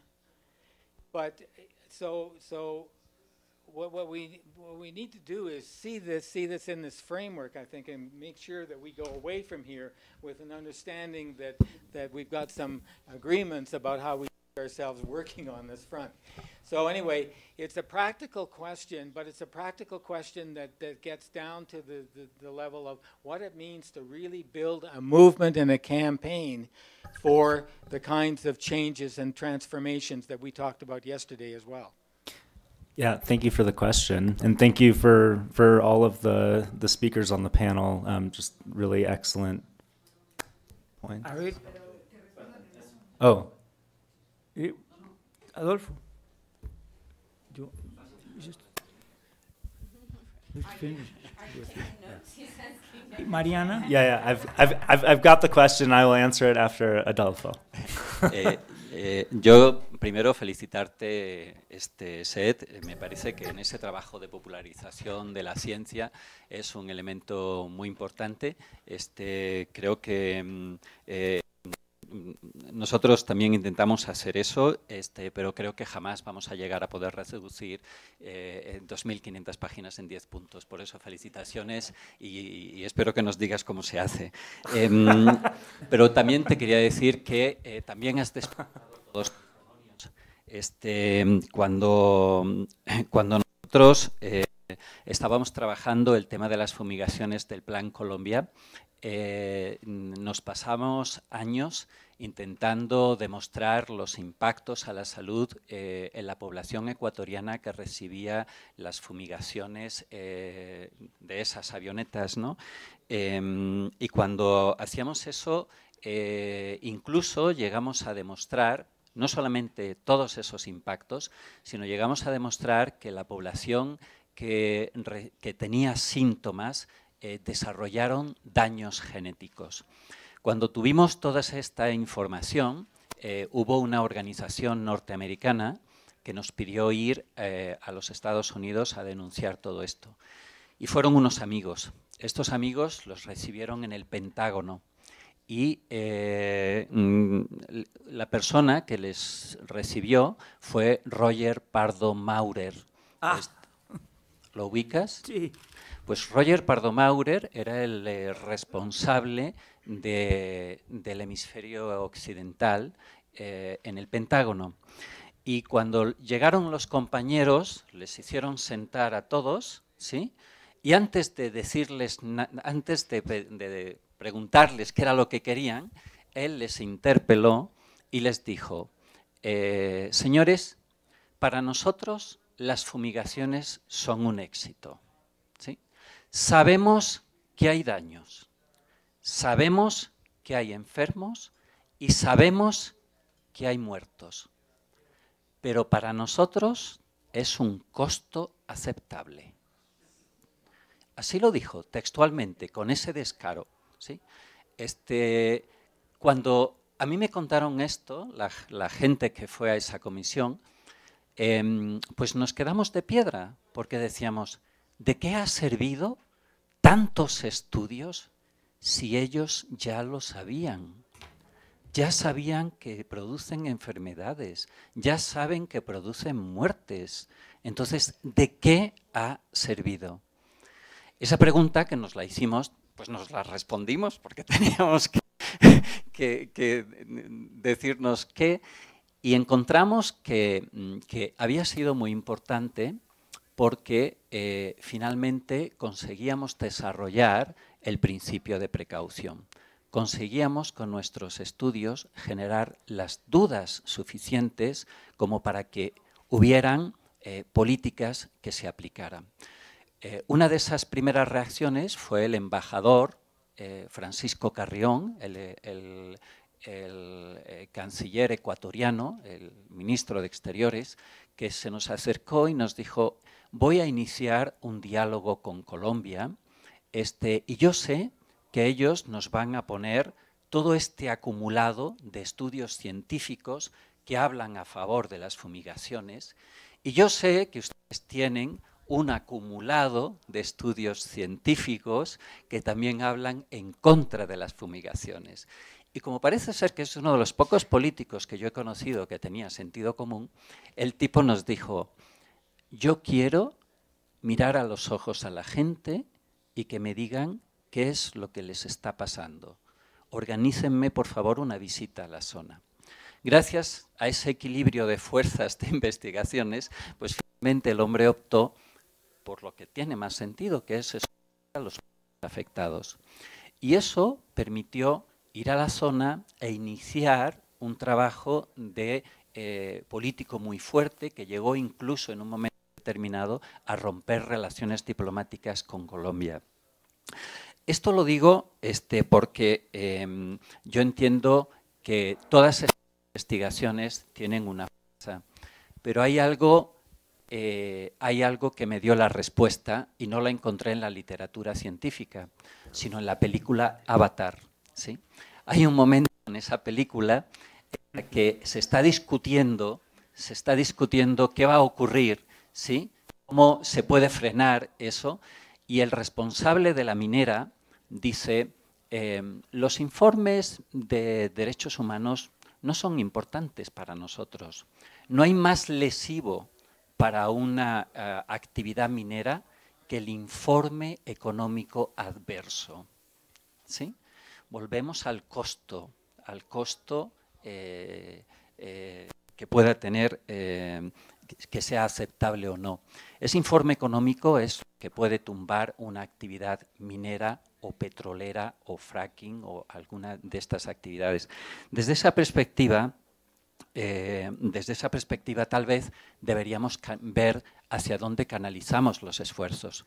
Eh, es loable y yo entiendo que un norteamericano crea en el establishment y crea en la democracia y le escriba a Obama, pero tal vez habría también que mandar esas mismas cartas a otras personas.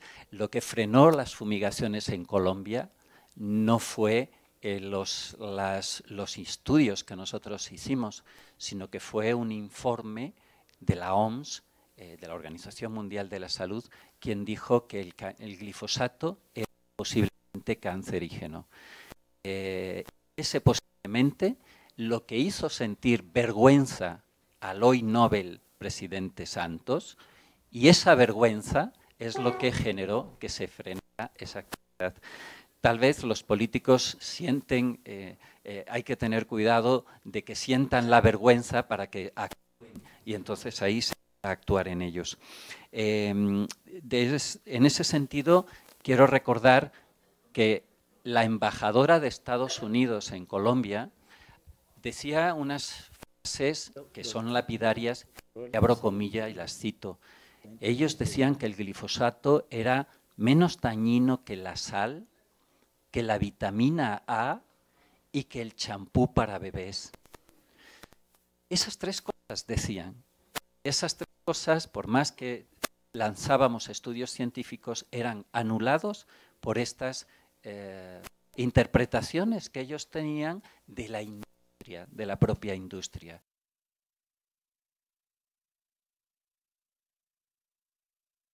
que estaba tan tremendamente usado, porque lo usaba todo el mundo en sus huertos. Es como decir que la prostitución no genera enfermedades de transmisión sexual porque es muy usada y cuanto más usada sea, pues menos daño tendrá, ¿no? O que las violaciones, pues también cuando todos sabemos los dramas y todo lo que esto ocasiona. La frecuencia de uso también era interpretada como, esto. Ya para eh, quiero destacar que cuando la empresa Texaco era enjuiciada en, Ecuador, eh, el argumento para decir que no habían producido daño eran el, riego que se hacía con las aguas de formación eh, en California. Ellos lo presentaron como un hecho de benignidad. El hecho de que si a los Estados Unidos los consumidores este, se toman las lechugas con aguas de formación, ¿cómo es que va a ser dañino para los ecuatorianos? ¿no? Poco menos. Entonces, y fue doloroso porque eh, hoy eh,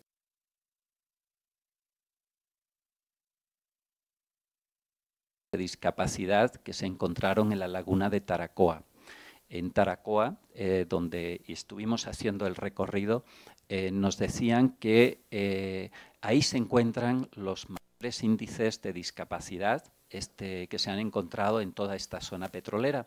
Y curiosamente, cuando la Texaco empezó a operar en esa zona, la temporada de sequía dejaba mm, sales sobre el barro y los petroleros les decían que podían usar esas sales para salar la comida y no tener que comprarla este, y con eso ser ya completamente autosuficientes. En esa zona donde se pedían tomar las sales es donde ahora tenemos los mayores niveles de discapacidad y algunos casos de discapacidad tan parecidos a los de Minamata, Japón, donde se descubrió el impacto del mercurio eh, como actividad eh, entonces, em, solo mencionar esto, que me parece que, sería fundamental para que en estos trabajos de investigación se sepa que si bien directamente tal vez no tengan apoyo, tal vez canalizando esto en las diferentes formas o a las diferentes instancias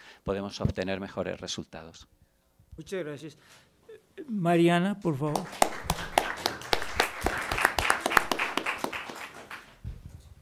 Bueno, pues como se ha venido diciendo en, este coloquio, pues una de las principales eh, afectaciones derivadas del, uso de la fractura hidráulica es el agua, ¿no? Por un lado, el uso intensivo, eh, para un pozo se necesitan de 9 a 29 millones de litros de agua, y por el otro, como ayer lo comentaba eh, Claudia, pues toda la contaminación que trae consigo, mantos subterráneos, mantos freáticos, aguas subterráneas, en fin. Y un elemento que no podemos perder de vista y que ha frenado y ha obstaculizado el avance de las, de las investigaciones es que no se conoce en su, totalidad eh, las sustancias tóxicas que se están utilizando dentro de, este, de esta técnica. En un principio eh, eh, se conocía que eran 260 sustancias las que iban a ser utilizadas en todo el proceso y el año pasado la Agencia Ambiental Estadounidense, que es el máximo órgano federal que pretende salvaguardar los bienes naturales de Estados Unidos, emite eh, una investigación en donde se encuentran que son, utilizadas más de 700 eh, sustancias tóxicas. Y de esas únicamente eh, se conocen 200 porque están protegidas por secreto industrial, por secreto corporativo, y esta medida fue impulsada en, en primera instancia por el ex vicepresidente de Estados Unidos y que después fue eh, eh, gerente general de Halliburton, que sabemos que es una de las eh, petroleras más grandes. ¿no? Y. No, Dick Cheney. Y bueno, y de los 187.750 pozos de inyección que se tienen registrados en Estados Unidos, todos tienen amenazas comprobadas de que el agua potable está contaminada. Aunado a esto, todas las plantas residuales que, que, hay en Estados Unidos no tienen los mecanismos necesarios para hacerse cargo de esta agua y que, y que pueda volver a utilizarse. Como ayer lo decía Claudia también, que uno de los una de las, eh, de las cosas más primordiales es que el agua se saca de su ciclo hidrológico, del ciclo natural del agua. Entonces, obviamente no se puede volver a utilizar como sería en otros procesos. ¿Y cómo es posible que, eh, a pesar de que ya se tengan todas estas amenazas eh, comprobadas de manera científica y, de manera periodística, cómo es que no se ha podido avanzar en la lucha de, la prohibición, bueno, en la lucha contra el fracking en todo su proceso? Y un elemento que también no podemos eh, sacar dentro de la discusión es las, eh, los vínculos eh, o asociaciones público-privadas existentes en todo este proceso, ¿no? Los vínculos que existen entre el Estado, en este caso la, Agencia Ambiental Estadounidense, y estas grandes industrias petroleras y gaseras, que, por, bueno, por eso que existen alrededor de siete leyes ambientales que contienen exenciones para estas grandes industrias, y permiten eh, que prácticas que de otra manera serían ilegales, ¿no? que no se tengan eh, una responsabilidad, que no se tengan sanciones coercitivas para eh, y responsables de todos los daños que trae consigo la utilización de la fractura hidráulica. Y pues obviamente todas estas asociaciones son bajo el, el apoyo de la, de la Agencia Ambiental Estadounidense y del Amparo Estatal Federal. Y bueno, las leyes que atañen nuestra especial atención es en primer lugar la ley de agua potable, que cubre las aguas que son o que pueden ser potenciales para el consumo humano, y eh, bueno, ya sea por eh, fuentes subterráneas o eh, terrestres también. Y la otra es la ley de agua limpia, que regula todo el conjunto de descargas que, que, emana todo el proceso de la fractura hidráulica y esta ley permite que todas estas descargas y las disposiciones de desechos sean vertidas directamente en la directa o paralelamente en las fuentes puntuales de agua potable que van a ser para el consumo de los ciudadanos estadounidenses. Y eh, en un primer momento todas las obras de construcción, todas las, toda la infraestructura complementaria de esta industria sí estaban reguladas y se necesitaban de permisos especiales regulados por la Agencia Ambiental estadounidense. Pero como se comentaba ayer, uno de los principales frenos que se tienen en Estados Unidos es el lobby estadounidense, ¿no? Todos estos cabildos que presionan constantemente, entonces se enmienda por medio de la ley de eh, la energética política del 2005 y eh, se permite que también estas obras de construcción sigan eh, desechando aún más sustancias tóxicas a todas estas fuentes puntuales de agua. Y entonces, eh, ¿cómo es posible que residuos que eran considerados por más de 20 años como eh, perjudiciales para el medio ambiente pudieran autorregenerarse y ya no fueran más, eh, ya, no fueran a hacer un impacto negativo dentro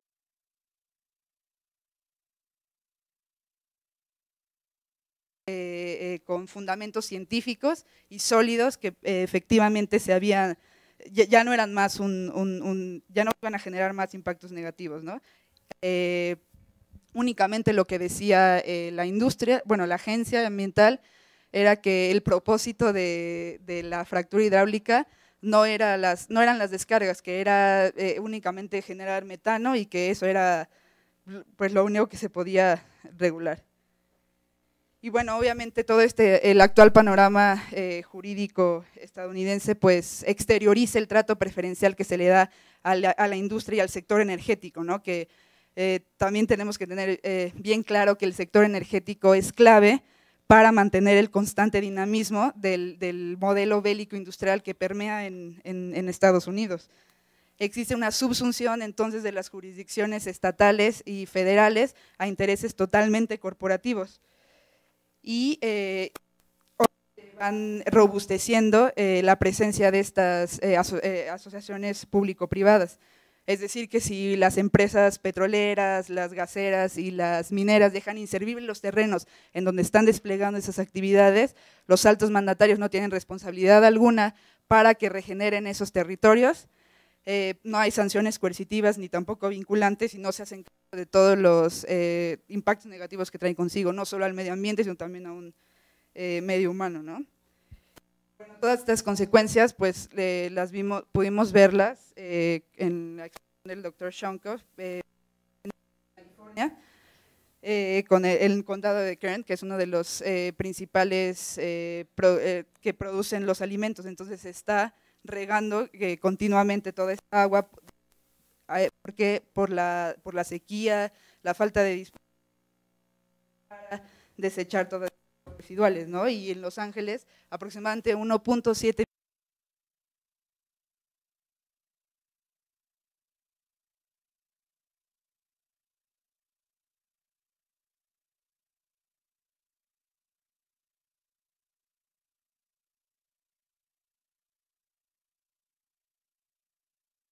gente ya está acostumbrada a vivir a esto y ya lo ve de un, eh, lo ve como parte de su vida diaria, ¿no? Entonces, ya no solamente eh, están eh, generando problemáticas dentro de las zonas rurales, sino también ya en los complejos urbanos, las ciudades.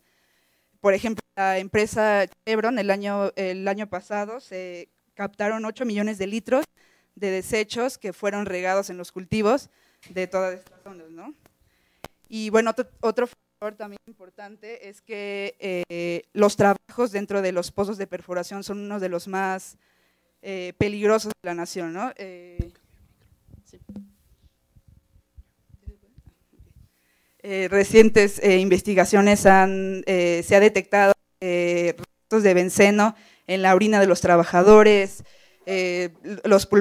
sus pulmones están llenos de la arena sílice, también las constantes altos niveles de radiación continuamente se les está radiando a, a, los trabajadores y no solamente ahí, sino que mucho mayor y todos estos, eh, eh, todos estos impactos tienen eh, alcance hasta comunidades que geográficamente distantes, ¿no? Obviamente todos estos trabajadores no tienen un seguro de amplia, de amplia cobertura, algunos ni siquiera los tienen, no existe una regulación federal, aquí es otro ejemplo de, de estas acciones público-privadas, ¿no? que no se tiene un, eh, se tiene una cultura de autorregulación, la industria petrolera y gasera. Tenemos que, este... Bueno, nada más, algo que sí me gustaría dejar muy claro y es que no se ha tomado como muy en cuenta y tal vez sale un poco del contexto, pero siento que sí es importante eh, conocer que la verdadera ganancia o la verdadera apuesta del fracking en Estados Unidos fue eh, la parte del, sector financiero, ¿no?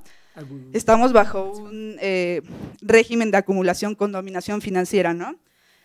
Eh, donde se subordina la lógica de la reproducción del capital a las necesidades de la, de la valorización del capital monopólico financiero.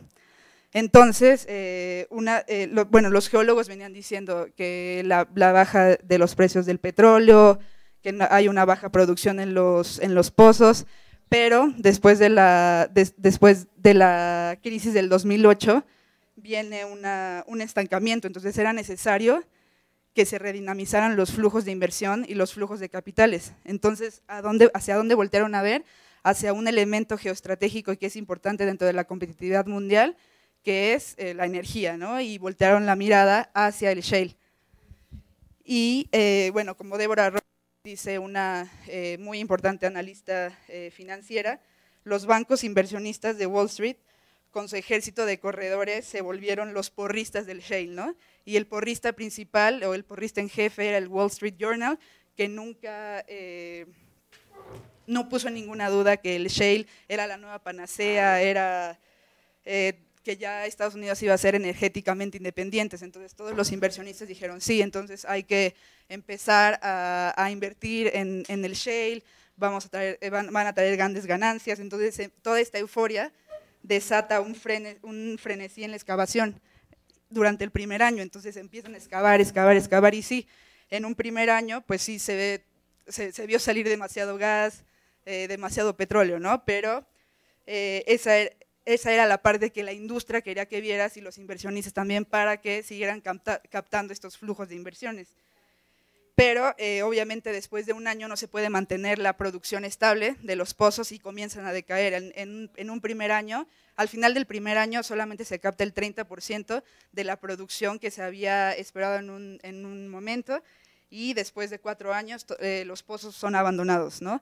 Y la industria gasera y petrolera eh, incluso ha, eh, ha admitido que hasta el 80% de los pozos son, no son redituables y tampoco so- no, no, no se debe tener una ganancia económica, ¿no? Y pues, ¿qué sigue después? Ya Estados Unidos explo- explotó a más no poder todos sus territorios, ahora que sigue, pues voltear la mirada a otros países, ¿no?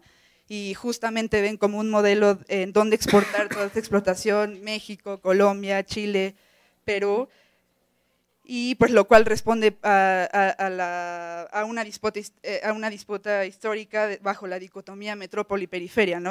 Donde continuamente se va a hacer este modelo extractivista, captación de recursos, pero que realmente el gas shale no es lo que, no es lo que se, se predijo en un, en un primer momento, no va a haber ganancias económicas, sociales, ambientales únicamente, se van a centrar en el, en el sector financiero y sí es importante que tengamos bien claro esto para entender todo el contexto energético de Estados Unidos y cómo se despliega hacia América Latina. Muchas gracias. Voy a pedirles un momento para eh, colocarnos en, eh, acá, porque hay mucha gente y necesitamos más espacio. Entonces vamos a irnos de vuelta hacia allá. Y eh,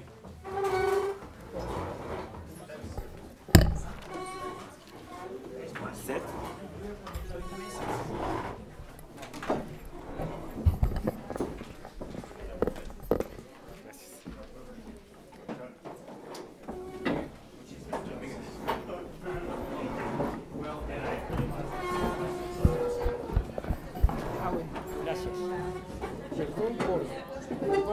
ayer, pero tuvimos un- toda una danza. Todo está grabado para que Sí, lo tengan. ya lo, lo- me lo pasaron. Y es, eh, la primera presentación es monumental. Sí. Le va, a gustar mucho.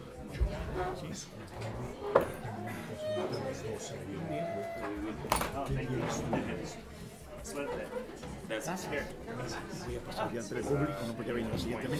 Sí, sí. Pero tú estás en esa mesa también. Tú estás No, yo estaba precisamente en esto. Estaba en la de Shonkov. Sí, sí, claro. Sí. Ah, también. Bueno, bueno, Ya me El nombre, ¿eh? Muy bien. Nombre. Este, Ah, ruso. Bueno. Vamos a aprovechar que estamos haciendo este, este cambio para anunciar el, eh, que vamos a tener un tercer coloquio el próximo 27 y 28 de este mes va a ser, fíjense el título, cómo nos este, ayuda Shonkov a buscar el título. En el título del próximo coloquio, que va a ser aquí 27 y 28 de octubre, desde las 10 a las 14 y de las 16 a las 19, se llama explotación de combustibles fósiles convencionales y no convencionales en nuestra América. Una visión desde los afectados. Entonces vamos a tener los afectados, porque ya hay afectados. Y van a estar con nosotros acá. Entonces están cordialmente invitados. Ahora inmediatamente vamos a proceder con Felipe Gutiérrez, que fue presentado ayer y fue presentado desde eh, un artículo en la jornada con los otros integrantes de los invitados. Eh, y va a hablar sobre el fracking en Argentina, impactos, políticas públicas, resistencias. Va a referirse al panorama petrolero en general, convencional y no convencional de Argentina. Adelante. Bueno, em, muy buenos días. Eh, tengo el, el voy a poner el cronómetro porque si no me paso. Em, tengo el desafío de cerrar esta, esta actividad em, con una ventaja que es que pude ir viendo las distintas presentaciones de las compañeras y los compañeros que estuvieron antes de mí. Me parece muy interesante el hecho que em, dialogan bastante, dialogamos bastante en nuestras presentaciones, hay, hay bastantes similitudes en lo que va ocurriendo, entonces algunas cosas también me las, me las puedo de alguna manera ir saltando que tenía pensado hablar, pero que me parece que fueron bastante tocadas también en, esta, en estas conversaciones. Em, por otra parte, agradecer eh, a, John y también a todo su equipo por el trabajo que han desplegado estos días em, y por la posibilidad de reunirnos. Me parece que si hay un problema que tiene la patria grande es que es muy grande. Eh, yo vengo de muy lejos. Em, entonces, tener la posibilidad de que nos encontremos, que nos juntemos, me parece que, es un elemento eh, muy relevante porque nos potencia, nos pone en comunicación y nos potencia. Me voy a referir a la situación de, los, de explotación de hidrocarburos no convencionales en la Argentina, el país del mundo donde más se ha fracturado por fuera de Norteamérica. Em, voy a dividir mi presentación en tres momentos. Em, en un primer momento quiero eh, poner en contexto la situación eh, donde se ubica el fracking dentro de un sistema mundo. En un segundo momento eh, contarles un poco el contexto argentino y cómo se fue desarrollando Vaca Muerta. Y después quiero relevar cómo ha sido las resistencias que hemos ido generando eh, en el país y buscar un poco también una respuesta, ¿no? Al, no al fracking y por dónde vamos saliendo. Las respuestas no son conclusivas, simplemente es algunas puntas que les puedo compartir. Por otra parte, no, mm, no tengo mucha experiencia en presentaciones eh, tipo PowerPoint, pero me parecieron muy bonitas las que se fueron pasando y creo que sirven mucho los mapas y algunos gráficos. Así que tengo poquititas eh, imágenes, pero que en algunos momentos se las voy a ir mostrando, pero en general va a ser más, más bien expositiva.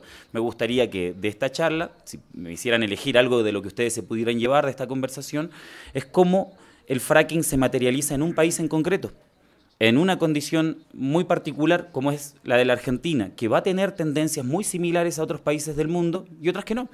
Hay elementos que se dieron en Argentina que se van a ir repitiendo eh, en otros países de América Latina y otras que simplemente tienen una particularidad.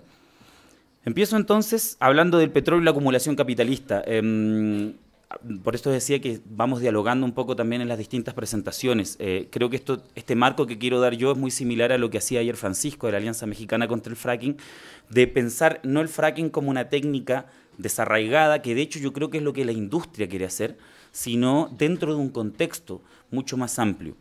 Cuando uno revisa la historia reciente del mundo, que es la historia del capitalismo, se da cuenta que el petróleo ha jugado un elemento fundamental, ha sido un elemento fundamental para el desarrollo del capitalismo global. Cuando uno ve los gráficos de, se dice producción, pero el petróleo no se produce, se extrae, de extracción petrolera, se da cuenta que son exactamente iguales a los picos de crecimiento, de acumulación del capital. ¿Qué quiero decir con esto? Que la energía, el petróleo, es la base para la acumulación y la reproducción del capital. Em, entonces, eh, la crisis que se encuentra hoy el petróleo también muestra los límites de un sistema como el sistema capitalista, que tiene una promesa de crecimiento eterno, pero está encontrando su techo. Entonces, durante muchos años se ha ido teorizando en torno a la idea del de, eh, pico de producción petrolera. Si es que algún día, porque yo creo que todos hemos escuchado desde hace muchos años que el petróleo se va a acabar. Em, y no se acaba. Sin embargo, en algunos países eh, esto se puede ir viendo. En el caso argentino, el año 1998 alcanzó su techo de producción de petróleo y el año 2002 de gas. De a partir de esos, de esos años ha ido decreciendo la producción, la extracción de gas y petróleo. Eh, esto debería hacernos pensar en una, en, una, en una reconversión energética, como se hizo en algún momento, en otros momentos. ¿no? Eh, todo se movía por vapor, por ejemplo, en, alguna instancia de la historia del mundo, y eso fue transformado a, la, a la combustión del carbón, y el carbón fue transformado al petróleo, y qué es lo que viene ahora. ¿Cuándo vamos a hacer esa reconversión? Lo que están intentando hacer a través de este tipo de energías, yo ayer me refería a las energías extremas, Em, hago un pequeño paréntesis aquí cuando me refiero a energías extremas, ¿cierto? Me estoy refiriendo a em, hidrocarburos que son extraídos que antes no se podía por condiciones geológicas, técnicas y financieras y que hoy sí se, están extrayendo. A esa familia pertenece el fracking, pero es parte de otros procesos de extracción de hidrocarburos como son nuevas técnicas del carbón, eh, como es la explotación en aguas ultraprofundas, el caso del presal de Brasil, como el avance muy fuerte que ha habido sobre comunidades indígenas y áreas protegidas. Así es como se le está intentando mantener la vida a los hidrocarburos y no pensar en esta reconversión que yo, pensaba, que yo les señalaba hace un ratito. Em, y las energías extremas requieren de otras cosas que también son extremas, políticas extremas, la aprobación de leyes antiterroristas, por ejemplo. Se necesita eh, la represión y la criminalización para avanzar con este tipo de técnicas. Se necesita tecnología extrema, como el fracking, pero hay cosas incluso que suenan un poco como apocalípticas, pero el año pasado el grupo ETC, que es un grupo que trabaja sobre biotecnologías de manera crítica, que está, tiene una base acá en México, em, eh, publicaron un informe sobre cómo la biotecnología, la biología sintética, Em, estaba siendo utilizada en nuevas técnicas eh, de, extracción petrolera y el fracking en particular, es decir, trabajar con organismos vivos como bacterias para que ayuden en la recuperación terciaria, la recuperación mejorada de petróleo, para que ayuden a eh, disminuir las emisiones, es decir, están trabajando con organismos vivos para mantenerle la vida a, las petroleras. Y otra parte extrema son las es la infraestructura. En Sudamérica tenemos eh, un plan que es bastante conocido, que es el plan IRSA, que se vende como un plan de interconexión, eh, pero cuando uno va mirando los mapitas, ¿cierto? Son carreteras, quizás se fue, no sé si habrá llegado acá la noticia, pero el año, creo que 2010, hubo una tremenda protesta en Bolivia, en una zona que se llama Tipnis, porque se quería hacer una carretera que es un corredor bioceánico que intenta juntar eh, desde el Atlántico hasta el Pacífico. Em, pero cuando uno mira esta supuesta interconexión, se da cuenta que todo lleva a puertos, porque nada se queda en América Latina, porque todo se va hacia afuera o lo que se interconecta en América Latina son cosas que también están pensadas para irse. Por ejemplo, eh, los gasoductos de Bolivia a Brasil o Argentina. Em, entonces, todo este tipo, todo este entramado de, este rompecabezas que son eh, todas estas situaciones extremas, le decía yo, vienen a eh, facilitar la extracción del tipo como del fracking. Y un elemento más puntual del desarrollo actual del capital en América Latina, y que lo podemos ver en todos los países, es el extractivismo, el concepto este que nos sirve tanto como para poder em, hablar de distintos tipos de industria, que muchas veces no son industrias, sino que son simplemente actividades primarias, como la forestal, la petrolera, por supuesto, la minera. Eh, en cada país hay otro tipo de, de, por ejemplo, en Chile hay una salmonicultura, que también es un tipo de extractivismo muy fuerte con degradación muy fuerte de las costas. Em, y el fracking ahí, o, los hidrocarburos, juegan, juegan un, rol preponderante. Em, y por otra parte, uno puede ver consecuencias muy similares. Otra característica muy particular del extractivismo es que se fue dando en un periodo en que había la mitad de América Latina con gobiernos de derecha o neoliberales y la mitad con gobiernos que al menos ponían en tensión el tema neoliberal. No vamos a decir que todos superan eh, la idea de lo neoliberal, pero al menos lo ponían en tensión. Sin embargo, el extractivismo se dio por igual en esos tipos de países, con diferencias, por supuesto, ¿no? Con diferencias de cómo se repartía ese dinero. Em, para ir más concretamente al caso argentino, el extractivismo, particularmente pensando en la soja, la producción de soja y en la producción en la minería, Em, se generaron retenciones que permitían grandes ingresos al Estado, tanto al Estado nacional como los estados provinciales, em, que fueron el sostén de toda la política social del kirchnerismo. El kirchnerismo tuvo un despliegue de política social que puede gustarnos más o menos, pero que tiene elementos progresivos, pero que se sustentó en base al extractivismo. El extractivismo fue el motor de ese modelo que se llama nacional popular en la Argentina. Em, me meto entonces en particular eh, al caso argentino. Hay un dicho, eh, un viejo adagio, que dice eh, que la Argentina no es un país petrolero, sino es un país con petróleo. Esto quiere decir que es un país em, que cuenta con algunos recursos que le permitieron el autoabastecimiento durante una década, dos décadas, pero que sin embargo está muy lejos de ser Venezuela, Brasil o México.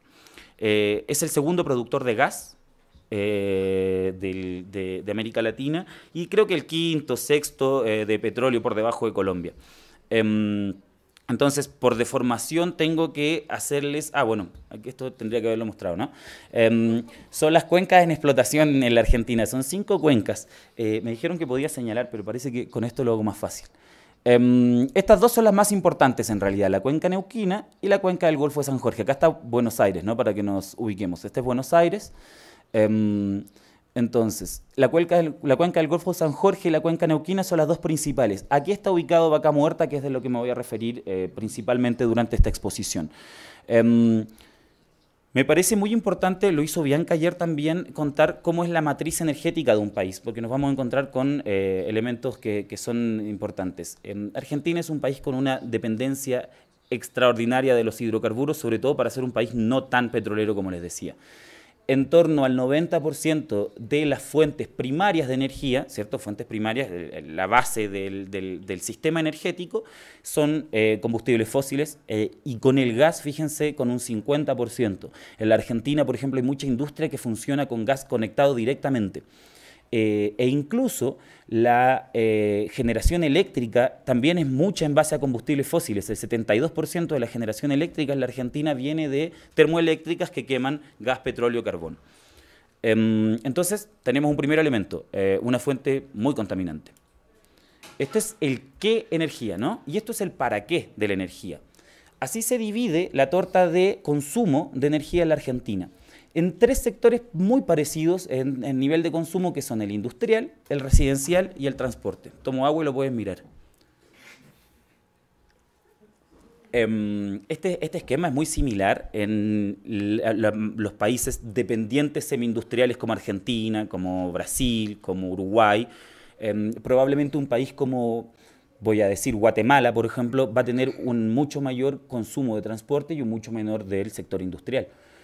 Em, ¿Qué es lo que quiero destacar aquí? Eh, bueno, la torta grande, ¿cierto? Son los distintos sectores y las tortas chiquititas son qué se consume de energía en cada uno de esos grupos. El que más claro es el transporte. Todo lo naranjo es eh, combustible, en el nafta, eh, y la parte amarilla, en el caso del transporte, es gas. Em, ¿Qué es lo que quiero decir acá? Siempre, sobre todo la derecha, cuando hace discursos sobre el problema energético en la Argentina, quiere apuntar a vos, a uno la lamparita de bajo consumo, que nosotros seamos, eh, vayamos generando mayor eficiencia energética. Es muy importante que nosotros tengamos un criterio de eficiencia energética. En un modelo como el capitalista eh, y el modelo energético del capitalismo que te dice que hay que crecer, crecer, crecer, eh, ser eficiente energéticamente, tener ahorro, ya es contrasistémico. Si nosotros tenemos en, nuestras casas un, sistema de mejoramiento, de producción de, nuestra propia energía, ya estamos siendo contrasistémicos. Pero ojo, lo que nosotros vamos a modificar en el modelo grande es muy poco. Es muy poco porque somos muy chiquititos ahí. En la Argentina, un shopping, un mall, gasta la misma energía que 80 manzanas residenciales. Una minera, la minera, la lumbrera, gasta lo mismo que toda su provincia, que la provincia de Catamarca. Ahí tenemos que atacar. Y en la industria, además, se nos ocultan distintas cosas, porque al menos en un país como Argentina, yo creo que México es similar, industria pareciera algo bueno, necesariamente bueno. Pero resulta que el gran crecimiento del sector industrial en los últimos años son acereras y papeleras, que vienen de países del primer mundo que se las sacaron de encima, porque son de alta intensidad energética, de alto consumo, y son muy contaminantes. Ni hablar de la megaminería, que solo genera riqueza para eh, sectores muy concentrados, no genera prácticamente eh, empleo. Em, de hecho, las provincias mineras de la Argentina siguen siendo las más pobres. Em, entonces, esto, este, este es un poco la estructura eh, en la que se encuentra la Argentina. ¿Qué pasó en el país? Em, se venía con, a ver, ahí en Argentina el periodo fuertemente neoliberal es, ¿pasó algo en el audio? Em, en, Argentina el proceso neoliberal fuerte fue durante eh, los años 90, durante las dos presidencias de un peronista de derecha, el peronismo es amplio, como, como habrán escuchado, eh, un peronista de derecha muy neoliberal que era Carlos Saúl Menem. Durante ese proceso se extranjerizó todo el sector petrolero y se nacionalizó y se privatizó IPF que lo compró Repsol, eh, la empresa española. Em, ¿Qué es lo que hubo ahí? Una libre disponibilidad del recurso. Entonces, Argentina, sin planificación estatal, vendió todo su gas, las empresas privadas vendieron todo el gas em, y el petróleo, pero principalmente el gas, por ejemplo, se construyeron siete eh, gasoductos a Chile que no se usaron durante más de cinco años. Esos están abandonados hoy. Eh, entonces, eh, este país, como decía, que no es petrolero, sino que tiene petróleo, se quedó sin ese petróleo. Entonces hubo un descenso muy fuerte en el año 2001, a propósito del corralito que también habrán escuchado, hubo una crisis muy fuerte en la Argentina, pero después de eso se creció a tasas chinas, se creció a 7, 8%.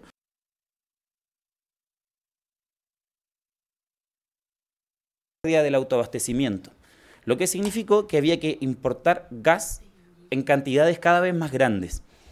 Em, entonces, a partir del año 2010, 2011, 2012, 2013, se va, va subiendo más y más la importación de gas a través de barcos. Em, y también desde Brasil, que generan una gran sangría de dólares para el país. Uno de los principales problemas macroeconómicos que, tenía, que tiene Argentina es la importación de gas. Em, entonces llegó este estudio de la EIA, de la Agencia Internacional, Agencia de Información de Energía se llama, en, castellano, em, sobre eh, la posibilidad de desarrollo del shale, del lutitas, eh, de esquistos. Em, yo voy a referirme de aquí en adelante como shale porque así se le dice en la Argentina y porque así estoy acostumbrado, que es esta formación no convencional, ¿no? de las que venimos hablando. entonces se hace este estudio eh, y indica que Argentina es el tercer país con mayores recursos de gas del mundo, de gas de shale, eh, y el quinto eh, de petróleo. Esto para un país como la Argentina, insisto, es, muy gravitante porque, porque no es un país con una impronta tan fuerte en, este tipo de industria. Entonces modificó por completo al sector. el año 2010 se hace la las primeras zonas de la primera prospección Em, en la zona y ahí es donde el gobierno eh, de Cristina Fernández muy hábilmente renacionaliza parcialmente IPF, que en realidad es una compra de acciones. Le compra el 51% de acciones a Repsol el año 2012. Todo esto con un discurso fuertemente nacional popular. Em, el petróleo vuelve a ser de los argentinos y de las argentinas, ¿no? Em, entonces, y la clave de esto es el fracking. O sea, ante la sangría tan grande que había de dólares por la diferencia de, consumo que teníamos en la Argentina y de lo que teníamos disponible, ¿quién iba a saldar esa diferencia? Vaca muerta. Esta, esta formación. Vaca muerta es además, según el estudio de la EIA, em, es la formación más importante del mundo, eh, el play de mayor potencial por fuera de Estados Unidos em, para el desarrollo de no convencionales. Entonces, eh, en ese periodo eh, surgieron una serie de modificaciones em, que, fueron muy relevantes, que hicieron, que, modificaron por completo el panorama hidrocarburífero nacional. ¿no? Em, la toma de control de parte de, IPF, del, gobierno de IPF, fue clave. Como Estados Unidos, como, perdón, como Argentina había, em, se había quedado eh, o había hecho este proceso de expropiación de Repsol, había una suerte de eh, boicot internacional de distintas petroleras. Entonces, eh, Argentina, el gobierno no tenía mucho margen con quién negociar. Entonces ahí es donde aparece Chevron, que tiene la demanda ambiental más alta de la historia, ¿cierto? Son 10 mil millones de dólares, 9 mil, 10 mil millones de dólares en Ecuador y venía arrancando de eso. Em, entonces se hacen socios. Chevron tenía, esto lo conté ayer, no, no quiero profundizar mucho en esto, em, lamento a quienes no estuvieron ayer, pero el, Argentina, en Argentina había un, embargo hacia todos los activos de Chevron, pero Chevron llega con esta promesa de plata para el desarrollo de, esta formación que es Vaca Muerta. En un proceso muy contradictorio porque mm, el gobierno de Cristina Fernández se mostraba constantemente en contra de las corporaciones, era pueblo, corporaciones, y se termina aliando con las corporaciones más importantes y sucias del mundo. Em, y por otra parte, hubo un avance eh, legal muy importante, que aquí creo que nos vamos a encontrar con la mayor similitud entre México y la Argentina, que fue, primero, se hizo un decreto para Chevron, eh, para hacer el acuerdo con Chevron, eh, y después se hace una ley de hidrocarburos que retoma todo lo que las petroleras venían exigiendo. Libre disposición del recurso, la posibilidad de exportar un 20%, em, la importación de muchos materiales que, eh, a bajos costos, en fin, una serie de condiciones que las petroleras exigieron y que se hicieron ley que tenemos entonces un Estado absolutamente presente para el desarrollo de los no convencionales. Al menos en el caso argentino habría sido absolutamente imposible que se desarrollara los no convencionales si no hubiera sido por la acción estatal, a través de las leyes y a través de los subsidios. a partir del año 2008 hay dos tipos de formaciones no convencionales que se desarrollan fuertemente en la Argentina. Eh, una es el shale, de la que veníamos hablando, y el otro es el tight gas y oil, el gas de arenas compactas. Eh, la arena compacta eh, no es una formación, no es roca madre como el shale, sin embargo, por su poca porosidad también necesita de la fractura. Em, una fractura un tanto distinta a la del shale, pero que, pero que sin embargo sigue siendo fracking. Entonces nosotros englobamos ambos procesos. Entonces, a partir del año 2008, eh, el gobierno de Cristina Fernández, antes de lo de Vaca Muerta, ya había avanzado fuertemente con grandes beneficios para las petroleras que extrajeran gas. Em, el gas, a diferencia del petróleo, no es un commodity, no es un bien que se transa, eh, no tiene un precio fijo a nivel internacional, sino que es a través de contratos binacionales, por ejemplo, entre empresas. Em, si uno calcula que en algún momento hacia esa fecha el gas podía estar a 3.5 dólares el millón de BTU, que es una unidad de energía para esta medida, eh, para hacer una medida de gas, em, el gobierno estuvo pagando hasta 8.5 dólares el millón de BTU, o sea, 5 dólares por cada millón de BTU le estaba pagando de más al gobierno. Lo voy a retomar en, a, las empresas, lo voy a retomar en un momento más. Entonces, em, ocurrió eh, todo este acuerdo con Chevron y después vinieron varios otros acuerdos. Eh, hay otra particularidad, que es que en la Argentina las provincias son las dueñas del recurso, las provincias son las dueñas del de, petróleo, entonces las petroleras pueden negociar tanto con el Estado Nacional como con los gobiernos provinciales. Em, entonces se firmaron distintos acuerdos de bastante plata, el, el con Chevron son 1.500 millones de dólares, Em, un poco menores, en torno a 500 millones de dólares, hay acuerdos con eh, la empresa de Malasia Petronas, eh, con, eh, con Shell, con Total, em, que son como las principales empresas que han ido llegando al territorio. Esa vaca muerta, este, este territorio que tenemos acá, miren, estábamos cierto, ahí estaba, se estaba indicando toda la cuenca neuquina y esta es la formación vaca muerta, es una formación geológica em, que en su zona de mayor explotación está a 4.000 metros más o menos debajo del nivel eh, de, la Tierra, pero sin embargo en algunos lugares aflora también. Em, eh, tiene el tamaño de Bélgica. Cuando uno lo cuenta esto, por ejemplo, en Uruguay, la gente se vuelve loca. Acá en, México por ahí no es, tan, no es tan, porque es un país muy grande, ¿no? Pero eso tiene el tamaño de Bélgica.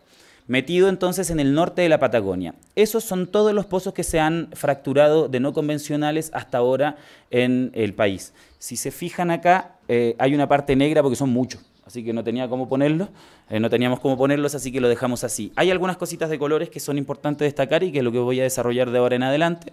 Este es un área natural protegida, fracturada. En diamantes están también eh, convencionales dentro de esa área natural protegida. Esta parte negra es una comunidad mapuche. Acá una comunidad, el mapuche es el pueblo indígena mayoritario en esa zona, ¿no? Esta es una zona, aquí está la ciudad de Neuquén y están los basureros petroleros, los lugares donde se tratan los residuos petroleros, y esta es una zona de producción de, em, de fruta. Tengo esto, a ver si funciona. Em, ahora, ahora, ahora, ahora lo retomo. Miren, esto es una línea de tiempo de cómo fueron apareciendo nuevos pozos. Acá abajo tienen la fecha, ¿no? En este momento estamos en finales de 2012, comienzo de 2013. Aquí viene el acuerdo con Chevron a mitad de año y aquí empieza el crecimiento fuerte de los no convencionales.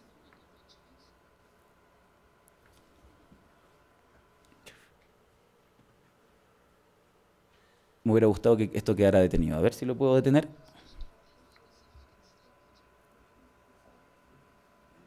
No, no lo logré. Una vez más, denme una oportunidad más.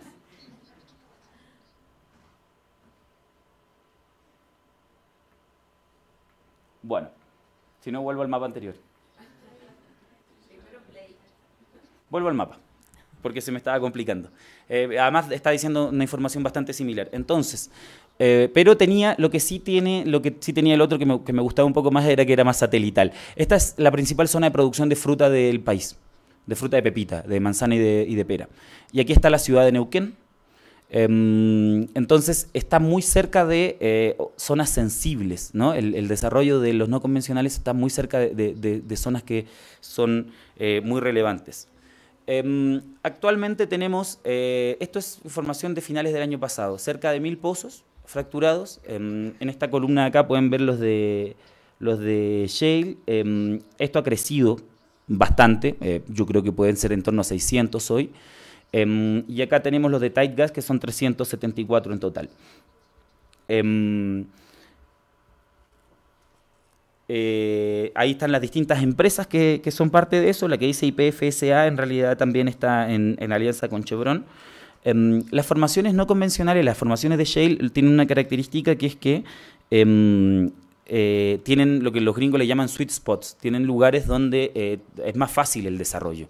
Entonces, el desarrollo más fuerte en la Argentina en realidad se, se dio en esa área entre IPF y Chevron, que es una comunidad mapuche, la comunidad mapuche Campo Maripe, tiene 500 pozos esa área. Es el sitio más perforado, más fracturado del mundo por fuera de Estados Unidos, esa comunidad. Eh, acá tenemos resultados. Esto, nuevamente, la información pública en la Argentina es lenta y hay que creer simplemente, o sea, es creer o reventar. Eh, esto es de agosto del año pasado. Eh, si se fijan, la parte más oscura es producción convencional. Eh, esto es gas. Eh, la parte eh, que está entre medio es tight gas y la parte roja es shale gas. Este es de la provincia de Neuquén, que es más o menos la productora de en torno a la mitad del país. Esa es la importancia que tienen después del desarrollo de estos mil pozos, es la importancia que tiene a nivel del gas. ¿Qué elemento relevante podemos sacar de acá? Que no es despreciable el número, es, es, es, un, es un porcentaje, para el poco año de desarrollo que tienes, es un porcentaje relativamente importante.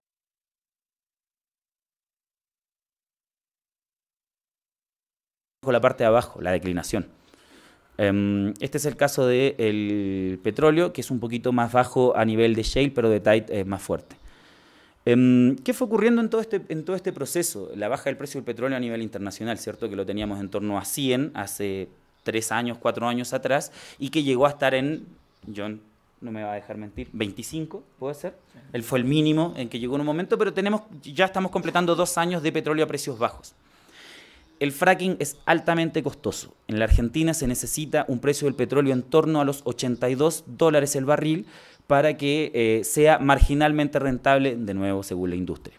Esto es nuevamente creer o reventar. Pero vamos a utilizar esos números, vamos a pensar en esos números. Entonces, ¿cómo se hizo? Porque la única apuesta energética que tuvo el kirchnerismo fue eh, el desarrollo de no convencionales. Entonces, ante la baja del precio del petróleo, cuando ya no eran rentables, ¿qué se hizo? Se aumentó el precio a nivel interno. Entonces se creó lo que se le llama el, bar el barril criollo, el barril nacional. Entonces el barril nacional estaba artificialmente en torno a los 80, 81, mientras la diferencia, digamos, podíamos llegar a tener una diferencia de 30 o 40 dólares con la transacción internacional. ¿Quiénes pagaron eso? El Estado a través de subsidios, pero como Argentina tiene impuestos regresivos, eh, eso impacta más, eh, digamos, ponemos más plata a los que menos tenemos, eh, y los consumidores eh, de naftas, em, los consumidores de combustible, perdón. Eh, porque están muy altos los precios de eh, los surtidores en la Argentina. Así se sostuvo el esquema eh, de precios para los grandes beneficios de las petroleras. Acá tenemos un gráfico en donde no está muy buena la resolución. mes por mes son los millones de dólares que el Estado le entregó a las empresas petroleras entre diciembre del 14 y enero del 16 que va mostrando cuánta fue la transferencia desde el Estado hacia las petroleras, eh, que en el periodo, en todo el periodo del, del, del, desarrollo del fracking, llegan a 2.500 millones de dólares, que es eh, más grande que el presupuesto de, eh, de educación, por poner un, ejemplo. El Estado gasta mil millones de dólares, el año pasado gastó mil millones de dólares solo en beneficios a las petroleras, eh, se llaman estímulos, para la, la producción eh, para aumentar los niveles de producción ante esta crisis eh, importante que tiene Argentina. Me olvidé mencionar esto, en la Argentina hay una crisis importante energética, eso hay que, hay que considerarlo. Todos los diciembre nosotros tenemos cortes de luz, eh, porque Buenos Aires es una ciudad muy húmeda y muy caliente en verano, entonces la gente necesita, o no sé si necesita, pero tiene aires acondicionados. Um, y por otra parte, hay zonas muy frías también. En Argentina hay una desigualdad brutal. Eh, la mitad de las casas no tiene acceso a gas. Um, entonces también hay un, hay un sistema súper inequitativo que se termina demostrando en, estos procesos. Es un mal negocio el fracking. No hablemos de, no hablemos de, de, solo las consecuencias a la salud y ambientales. Esas son la declinación de los pozos en Argentina. Nosotros teníamos mucha información eh, de lo que pasaba en Estados Unidos y ahora podemos hacer nuestros propios gráficos. Eh, entonces, a, un, lado está el de gas de lutitas, el de shale, eh, que al tercer año en la Argentina eh, están en cero, están produciendo casi cero. ¿Qué es lo que hay que hacer? Volver a fracturar. es costoso. Em, el gas de arenas compactas, el TAI tiene un poco mejor rendimiento, pero igual, o sea, te puede llegar a durar 7 años, son días lo que aparece abajo. No sé si lo alcanzan a ver bien, pero lo que aparece abajo son días. Hasta el séptimo año puede llegar el pozo de TAI, en su producción hasta llegar a cero, sin embargo, desde el cuarto año no es muy rentable. Em, entonces, tenemos una situación en la Argentina. Tres tendencias, quiero, quiero decir, que fueron muy importantes para el desarrollo en la Argentina. Por una parte, el impulso público, em, los subsidios. Por otra parte, una movida publicitaria de la que quería hablar, pero no me va a alcanzar el tiempo, pero hubo una instauración de un discurso de que el fracking era la única salida en la Argentina.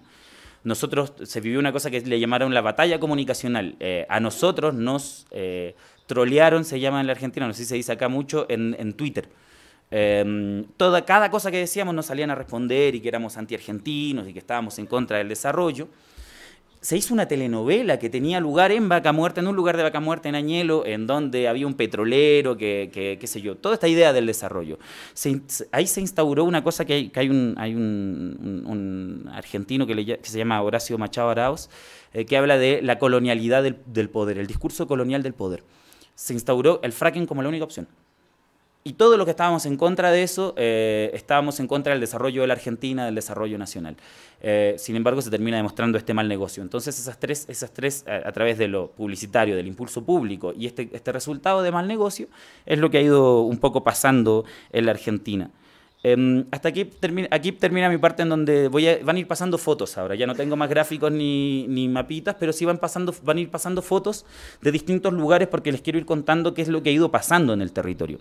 Tenemos unos videos que duran 25 minutos en total, que no los puedo pasar porque si no, no hubiera podido hablar, pero que se los recomiendo, lo pueden buscar en YouTube, se llama Territorio Crudo. Son cuatro capítulos que van contando cuatro territorios distintos. Y afuera hay una mesita donde lo estamos vendiendo también, así que también se pueden, dar una vuelta, pero están en YouTube también.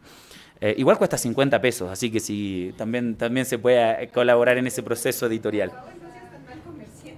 Em, pero es conocimiento abierto. Territorio crudo se llama.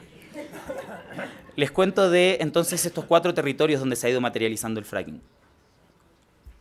Uno es el área natural protegida de Ucamahuida, eh, lo mostré ahí en el mapa. una em, situación muy particular, eh, la que fracturó es Total, que es una petrolera francesa, pero en Francia el fracking está prohibido. Argentina viene y no, solo fracturan, sino que fracturan áreas naturales protegidas. No hay antecedentes, no tenemos antecedentes nosotros, quizás los amigos de Estados Unidos nos pueden ayudar con eso, de áreas naturales protegidas o parques nacionales que hayan sido fracturados en el mundo. Así que parece que ahí tenemos una situación bastante única. Em, se pasa a llevar, por supuesto, todo el derecho ambiental. No lo pasa a llevar total, lo pasa a llevar el gobierno neuquino. Es el gobierno el encargado de resolver este tipo de cosas, pero las presiones son muy grandes. Em, no estoy justificando para nada, solo que estoy intentando dar las responsabilidades a quienes les competen. Em, otro territorio es la comunidad mapuche eh, Campo Maripe. Em, es una comunidad eh, en donde se fue desarrollando todo esto del fracking. Ahí hay un concepto muy interesante eh, de, de, un arquitecto inglés que se llama David Harvey, él habla de la acumulación por desposesión. Él dice que cuando eh, los, procesos de acumulación de capital por reproducción eh, tienen sus límites, encuentran sus límites, se tienen que agregar nuevos territorios eh, para la reproducción del capital. La frontera tecnológica que abre el fracking abre nuevos territorios para el desarrollo del capital. En este caso, esta comunidad que sin fracking no habría sido desarraigada, desterritorializada y se hizo porque existe este tipo de tecnología. Esa tecnología entonces al servicio de, por supuesto, el capital y el capital transnacional, Chevron en este caso. Em, otro territorio, voy a aprovechar la foto, es la zona de producción de fruta, eh, las torres metidas entre medio de eh, las manzanas y las peras. Un conflicto muy interesante como caso, para pensarlo, entre eh, lo productivo y lo extractivo. Lo extractivo genera mucho más dinero a corto plazo sin embargo, desplaza por completo y para siempre este tipo de producción, porque no se va a poder volver a recuperar estos territorios para la producción de, manzana y pera. Entonces, esa es una actividad centenaria que está siendo corrida por esos pozos de tight gas que, tienen, que van a durar siete años. Esa es una explosión de un pozo de tight gas y ahí está el barrio detrás. Voy a seguir la foto entonces. Em, también, ya hablé de la parte productiva, estos son pozos metidos dentro de la ciudad. Em, eso es un barrio lo que está ahí. Por supuesto, barrios pobres, ¿no? Em, muchos de ellos no tienen conexión a gas. pero tienen gas, se extrae gas afuera de sus casas. Eh, esto es, este es un explota, eh, eso es como explotó, pero hay pozos que están incluso más cerca, van a ir pasando más fotos y, y, bueno, también se va instaurando esto que, que, termina siendo un vecino el pozo, ¿no? que también es una situación em, bastante grave. Y otra cosa a la que me quería referir es que el fracking genera em, mayores, desechos, mayores desechos de la actividad petrolera que, lo convencional. Entonces, eh, ha habido un crecimiento muy grande de lo que nosotros llamamos los basureros petroleros, los lugares donde se tratan estos, estos residuos. Estos están ubicados en la ciudad de Neuquén, que es la zona de mayor concentración urbana. Mira, justamente es eso. Allá abajo se ve la ciudad de Neuquén, que es la ciudad más grande de la Patagonia. Y ahí arriba está, al lado, eh, están estos, estos pozos, estos, perdón, estos, estos lugares de tratamiento de, residuos, que son piletas a cielo abierto con una contaminación al suelo, pero también al aire, muy importante, en una zona de alta concentración poblacional. Eh, entonces, está bueno pensar eh, en que afectados somos todos también, porque Vaca Muerta es un megaproyecto. Entonces, afecta a los mapuches que están en el territorio, afecta a todos los lugares donde se cruzan los gasoductos y oleoductos, afecta a las personas de las ciudades por este tipo de cosas, eh, afecta a las personas de las grandes ciudades. En torno a Buenos Aires están las refinerías o las petroquímicas. Entonces, eh, ahí es súper importante que entendamos que eh, hay una afectación, digamos, a nivel más global y que ahí nosotros no somos objetos o las personas que están siendo eh, eh, contaminadas no son objeto de un estudio, sino sujetos de acción política que tienen que activar en contra de este tipo de cosas. Ahí arriba se ve eh, la, una, otra planta, digamos, otro basurero petrolero, está tirando humo y acá abajo hay un barrio. Esos son lo, los basureros petroleros. Entonces, estos sujetos de acción política nos hemos ido organizando em, en distintas formas, desde distintos lugares. Eh, el pueblo mapuche es la vanguardia, fue la vanguardia de los 90, de, cuando la izquierda estaba toda discutiendo más renta o menos renta petrolera, que me parece que es algo muy similar a lo que pasó acá, los mapuches estaban hablando de, la perspectiva socioambiental. Eh, pero después también hay otros sectores de la sociedad que han ido tomando esto. Nosotros conformamos parte de una multisectorial, que son organizaciones, incluso en algún momento estuvo la iglesia, pero organizaciones sindicales, eh, las comunidades mapuche, partidos políticos, ONG, que trabajamos en contra del fracking. También hay muchas asambleas locales que se han ido desarrollando. Miren, perdón, voy a interrumpir porque ese es un basurero petrolero y esto de acá es un camión, de esos camiones enormes que trasladan agua. Entonces, miren la dimensión de las piletas, y esto de verdad está a metros de, barrios. Eh, entonces, las formas de organización y resistencia que se han ido dando son muy variadas, asambleas multisectoriales, comunidades. Um, hubo una organización muy fuerte de municipios que se declararon en contra del fracking, hay más de 50 municipios declarados contra el fracking en la Argentina, entonces eh, es un proceso muy interesante. El rol que jugaron las mujeres mapuche um, y mayores, hay un corte generacional grave, um, porque los jóvenes se ven más tentados por ahí, por la civilización petrolera y todo lo que eso tiene eh, los autos, las casas, ese tipo de cosas.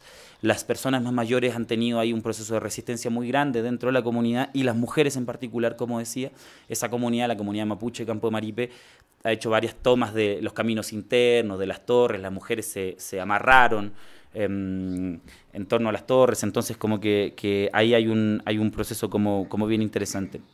Estamos trabajando en un proyecto de ley de zonas de exclusión. Eh, los que vieron House of Cards decía, eh, Frank Underwood decía que para comerse una ballena, ¿cómo nos comemos una ballena? A mordisco. Bueno, esta vaca muerta, que es muy grande, tenemos que comerla a mordiscos también. Entonces nosotros estamos avanzando en estos cinco lugares que yo les estoy diciendo. Somos antifracking a todo nivel, pero creemos que políticamente podemos avanzar sobre ciertas zonas primero. Lo que te da el derecho ambiental, para, la, para Ucamahuida, lo que te da el derecho indígena para, para la comunidad mapuche. Eh, así que bueno, estamos avanzando en un proyecto de ley que está en discusión dentro de la legislatura neuquina. Eh, unos compañeros del observatorio estuvieron hace poquito exponiendo ahí en la legislatura. El margen político que tenemos es estrecho, pero vamos a seguir eh, dando esa disputa. Entonces, ¿por qué estamos contra el fracking? Voy a ir cerrando mi intervención. Estamos en contra del fracking porque la literatura que nos llegó desde el extranjero, sobre todo desde Estados Unidos, eh, era grave, la afectación a la salud es grave, la posibilidad de inducción sísmica es grave, eh, la posibilidad de contaminación de acuíferos es muy grave. Vamos a poner eso en una, una, perspectiva ambiental, pero hay una perspectiva social que nosotros vivimos, estamos viviendo, que ya al llegar, antes de que se hiciera fracking ya estaba ocurriendo, ¿cierto? La quita de derechos. Hicieron una ley en favor de las corporaciones, que les voy a contar a ustedes, ¿no? De la reforma energética. Nos cambiaron la constitución, en México le cambiaron la constitución, las corporaciones cambiaron la constitución, las corporaciones y Estados Unidos.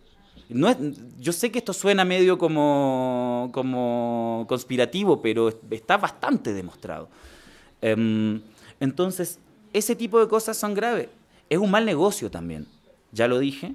Um, y otra cosa que me parece relevante es cómo se nos deja insertos en esta civilización petrolera. O sea, nosotros tenemos un desafío muy grande. Cada vez que... Um, voy a tomar agua porque esta parte me importa mucho. Ahí está, por ejemplo, una pareja caminando, ¿no? Al lado de, la, de, de las cigüeñas. Es explotación convencional, pero bueno, es, es, es, un elemento similar. Siempre que hacemos charlas nos preguntan, fracking no, entonces ¿qué? Y yo no les puedo dar una respuesta porque yo estudio el tema, pero les voy a dar una respuesta académica por ahí, o lo que yo pienso. La respuesta tiene que ir desde el campo popular, la respuesta tiene que ir desde la organización. Tenemos que diseñar una alternativa energética, un modelo energético distinto para un desarrollo distinto. Eso es, me parece a mí, la base y creo que esta crisis energética que por lo menos tiene la Argentina, en términos de crisis, nos da un potencial para dar esta disputa. Entonces tenemos que basar eh, o, modificar el sistema. Cuando uno habla de energía, por eso, por eso yo trabajo energía, porque la energía te permite discutir modelo de desarrollo. La energía no es más que una pata del modelo de desarrollo. En Argentina, el modelo energético es sucio, inequitativo y poco democrático, como el modelo eh, de desarrollo también. Entonces, si nos queremos desarrollar distinto, tenemos que producir una energía distinta. Esa, esa energía distinta que tenemos que producir, yo no estoy, yo no estoy bajo la idea de eh, que se cierren los pozos hoy. Sí estoy bajo la idea de que no se tienen que hacer más pozos. Eh, tiene que dibujarse una transición energética donde se ha reemplazado el sistema eh, a través de energías renovables no convencionales. Eh, hay mayor facilidad para hacerlo en algunos sectores y va a ser más complejo en otros. Para el sistema energético eléctrico es bastante más fácil, digamos, las renovables están más maduras para entrar en ese sistema.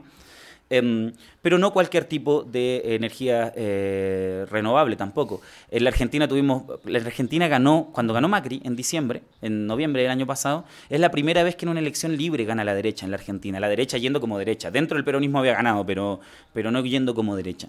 Entonces tu, tuvimos una modificación por completo y la derecha, el neoliberalismo se viste de verde, tiene una política de energías renovables la derecha. Entonces hacen una licitación en la que llaman a grandes jugadores internacionales para hacer megaproyectos de energía eólica y fotovoltaica. No nos sirve.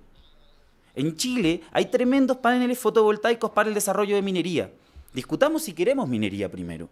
No porque sea fotovoltaico es necesariamente bueno, pero sobre todo el gran problema de la civilización petrolera es que hay una concentración de poder muy grave de las grandes petroleras. Ese es el gran problema que tenemos. Hay entonces, cuando queremos modificar ese esquema, lo que queremos es cambiar las relaciones sociales que hay atrás.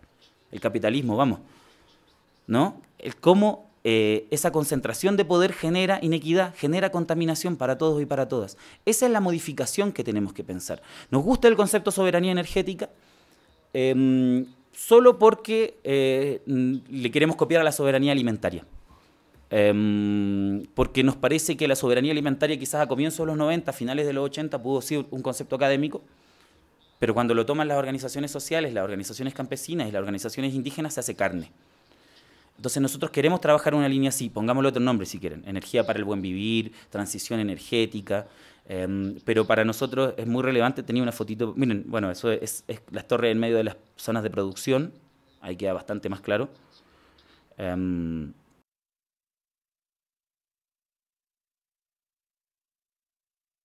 mujeres ahí. Eh, acá los sindicatos. Esta fue la represión. Esta fue la represión eh, con la que se instauró el acuerdo IPF y Chevron. Entonces, eh, esa, el fracking lo que nos permite es este momento crítico de disputa de un modelo.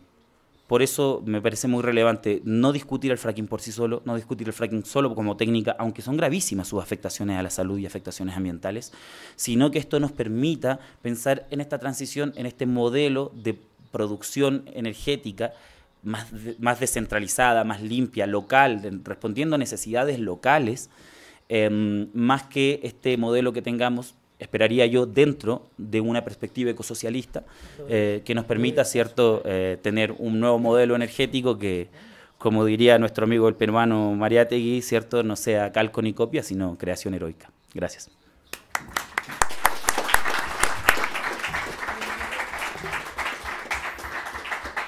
Muchas gracias por esta excelente exposición. Em, en relación con el entonces que, creo que hemos tenido un avance el otro día cuando, ayer, se nos habló de la cantidad de exposición solar del país, una de las últimas mm, gráficas que presentó en su PowerPoint. Eh, Anthony Ingravia. Y el otro asunto que me parece importante resaltar aquí, que no es frecuente eh, el planteo y es absolutamente esencial. Tenemos un libro de Robert Engler aquí en el Fondo de Cultura Económica sobre eso, de los 60, ese libro. Es el enorme poder, concentración de poder de la corporación petrolera a la que hiciste mención. Esto es un aspecto absolutamente fundamental porque les estamos abriendo la puerta aquí. Están entrando, en, el, el Big Oil está entrando en grande en el país. Se corrió la constitución, se les está haciendo todo eso, y se meten. Y ya Cárdenas había hecho advertencias gravísimas sobre eso. Tienen a veces sus propios cuerpos de seguridad o como este, lo hizo ExxonMobil, sus eh, fragmentos del ejército local comprado o colocado bajo la nómina de la empresa. Una de dos, tienen sus propios cuerpos de seguridad o compran comandos militares, como en Indonesia, por ejemplo, lo hizo este, ExxonMobil. Entonces, eh, también hay que tener presente esta estrecha relación del el patrón fósil y el desarrollo del capitalismo. Y en el desarrollo del capitalismo, en el ascenso hegemónico de Estados Unidos. El ascenso hegemónico de Estados Unidos ocurre alrededor de y con la industria del petróleo directamente involucrada. El principal consumidor de petróleo del mundo público o privado junto es el Departamento de Defensa de los Estados Unidos. Es el principal cliente y las relaciones clientelares entre el aparato militar de los Estados Unidos y este, la industria del petróleo son muy estrechas. Entonces, cuando estamos hablando de la industria del petróleo, estamos hablando de las esencias de la seguridad nacional, entre comillas. Y yo repito aquella observación que les hice ayer de Marcos Raskin, que cuando en un seminario aquí en la UNAM le preguntamos, un politólogo estadounidense, qué era seguridad nacional, que nos diera una definición de seguridad nacional, nos dijo eso, National Security is business, business is national security.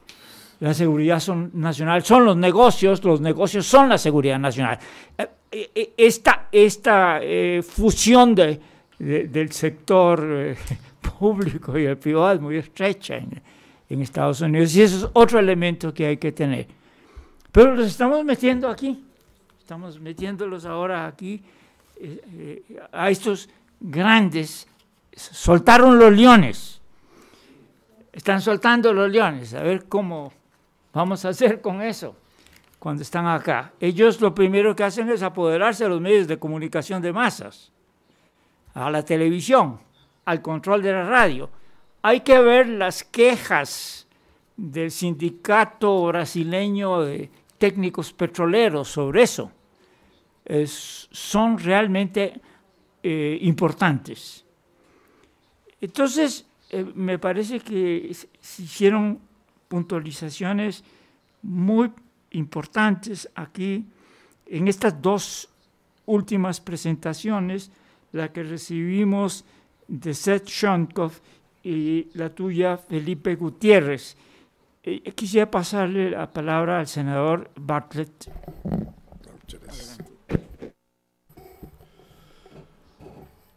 Bueno, yo quiero felicitar a John porque siempre es oportuno en la organización de debates y discusiones y este ha sido muy importante. Yo estaba, yo estaba programado para ayer, sin embargo tuvimos un, un día muy agitado en el Senado, pero vinieron mis eh, colaboradores y grabaron todas uh, las prácticas de ayer y en la noche las pudimos revisar y me parece que es una aportación muy importante.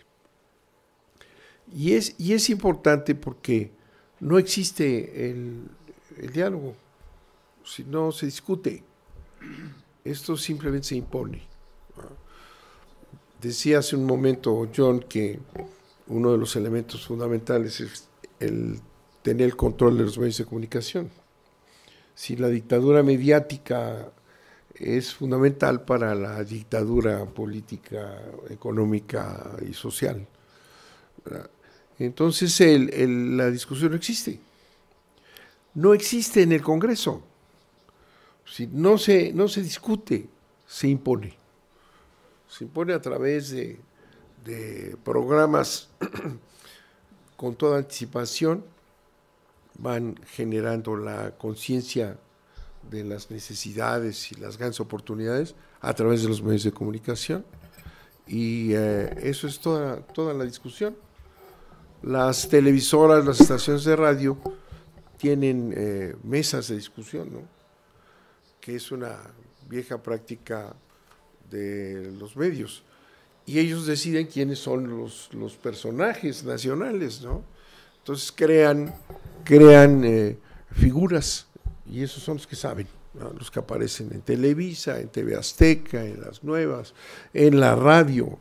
Y no se permite entrar a nadie que no esté en ese trabajo propagandístico descarado.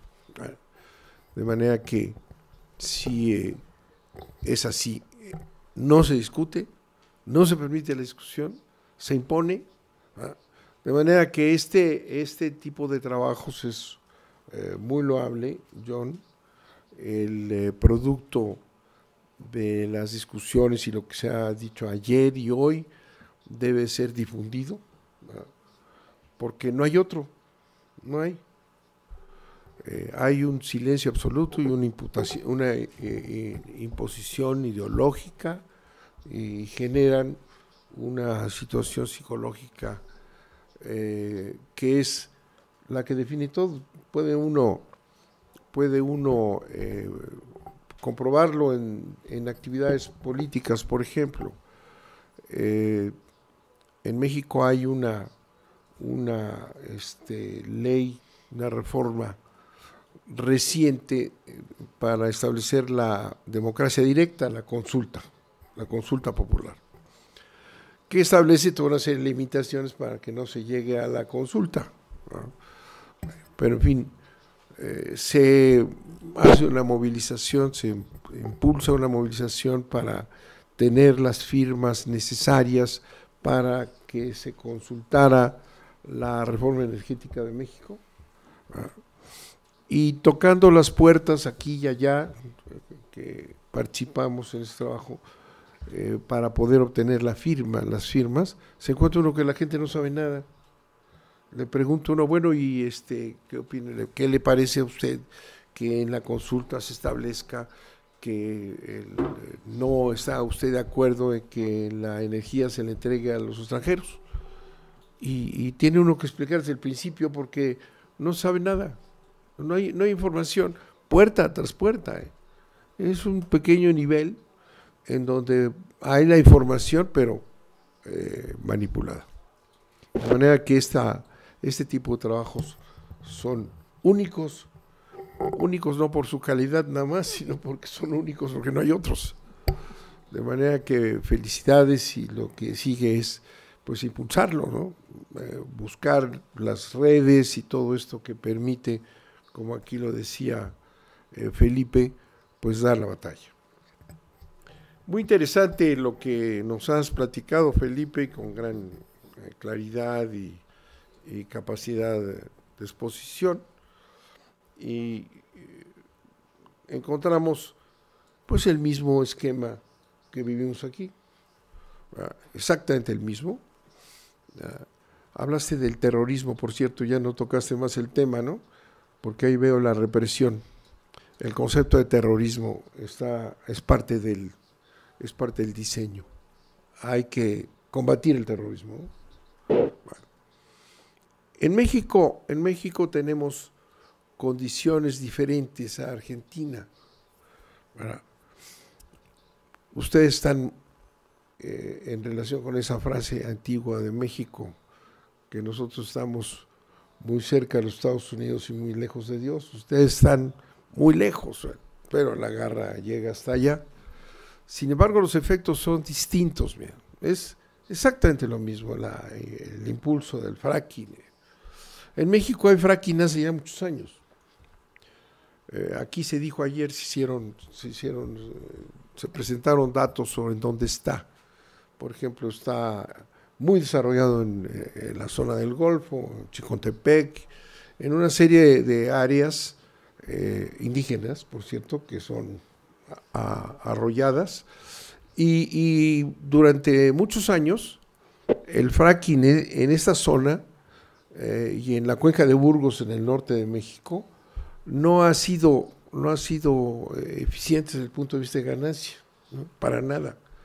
Eh, en toda esta zona, eh, Pemex gastó millones y millones y millones de dólares sin ningún resultado.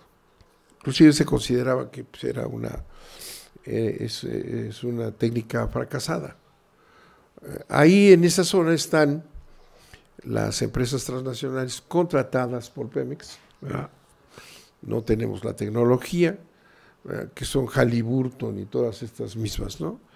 Y ahora, ahora con la con la este, reforma energética ya pueden ellos quedarse con la explotación como propietarios, como concesionarios. Entonces la diferencia que veo yo, que es muy importante para, para el análisis, es nuestra eh, este, frontera eh, enorme con los Estados Unidos porque este, este nuevo impulso eh, de la, del imperio norteamericano a través de la visión de, una nueva visión de, la energía, del petróleo, el gas, etcétera, que como bien dice Saxe Fernández desde la guerra mundial y el dominio de, y la vinculación de Estados Unidos con Arabia Saudita y el control del Medio Oriente, pues de ahí se fue impulsando todo este control, que es militar, como se decía también. En, eh, en, nuestro, en nuestro caso, en, nuestro caso es mucho más grave, porque la nueva visión eh, esta de, los Estados Unidos nos tiene absolutamente incorporados, eh, que es un concepto que se viene desarrollando que es la, incorporación, la, integración de América del Norte. Así se ha venido construyendo, se ha venido construyendo una, una, nueva, este, una nueva nación, ¿no? una unidad política que se llama América del Norte. Y América del Norte es Estados Unidos, eh, los, eh, los tratados con Canadá, el TLC con México, que va avanzando y avanzando hasta eh, dejar establecido que, que, la integración es el objetivo, la integración con Estados Unidos para la seguridad energética de América del Norte es obviamente una dominación absoluta del territorio nacional y obviamente de Canadá, de Canadá también. Este, esta sería la, la diferencia que, que es importante señalar además de, haber escuchado este, este trabajo destructivo y la penetración a las zonas indígenas, etc. Ya aquí está metido el fracking, con muy poco, con cero resultados para el, para, el país y gastos que tienen más de 15 años o 20 de estarse haciendo con estas empresas. El proceso, el proceso de, de integración tiene sus etapas. Eh, porque es un diseño imperial norteamericano clarísimo. Las presiones que ejercen políticas. Eh, eh, podemos decir que el rompimiento, el rompimiento de la cultura nacionalista, del cardenismo, que se continúa durante años, el orgullo de, del petróleo es nuestro y la continuación de la electricidad también, el sistema eléctrico nacional, las dos grandes empresas, más grandes empresas del país, había que irlo rompiendo. Educado, educados todos en, esa, en esa religión del nacionalismo energético, fue, ha sido destruida. esa capacidad de estar eh, este, manejando el pensamiento, la información, la desinformación, eh, ha logrado romper esa fuerza brutal del nacionalismo mexicano que era realmente un orgullo. El 18 de marzo, Día de la Expropiación Petrolera, el país entero lo celebraba. O la energía eléctrica con la empresa más grande, de las más grandes del mundo, la Comisión Federal de Electricidad. Ah, ¿Cómo ir destruyendo esta, este aspecto ideológico, ¿verdad? Porque en realidad eh, es un asunto ideológico y la dominación ideológica es fundamental para el resto de las dominaciones. Empieza con el Tratado de Libre Comercio. Eh, el tratado que es el giro de Salinas de Gortari hacia la política neoliberal, abiertamente, el Tratado de Libre Comercio ya tiene en, en, este, en sus cláusulas, ya tiene el inicio de la desnacionalización de, la energía en México. Una, una, parte, una parte que, parecía sin importancia es el compromiso que establece México. Eh, eh, los negociadores de, entonces y el salinismo dijeron que habían defendido el petróleo en el Tratado de Libre Comercio, pero es falso. El, el paso más importante que dieron fue el que México se obligara a que la, las, eh, eh, materiales, las provisiones, todo lo que requiere la industria, eh, la energía, tenía que ser con licitaciones internacionales. En, ese momento, pues no se le dio gran importancia, pero el Departamento de Comercio de los Estados Unidos dijo que era uno de los más grandes avances que había dado el Tratado de Libre Comercio.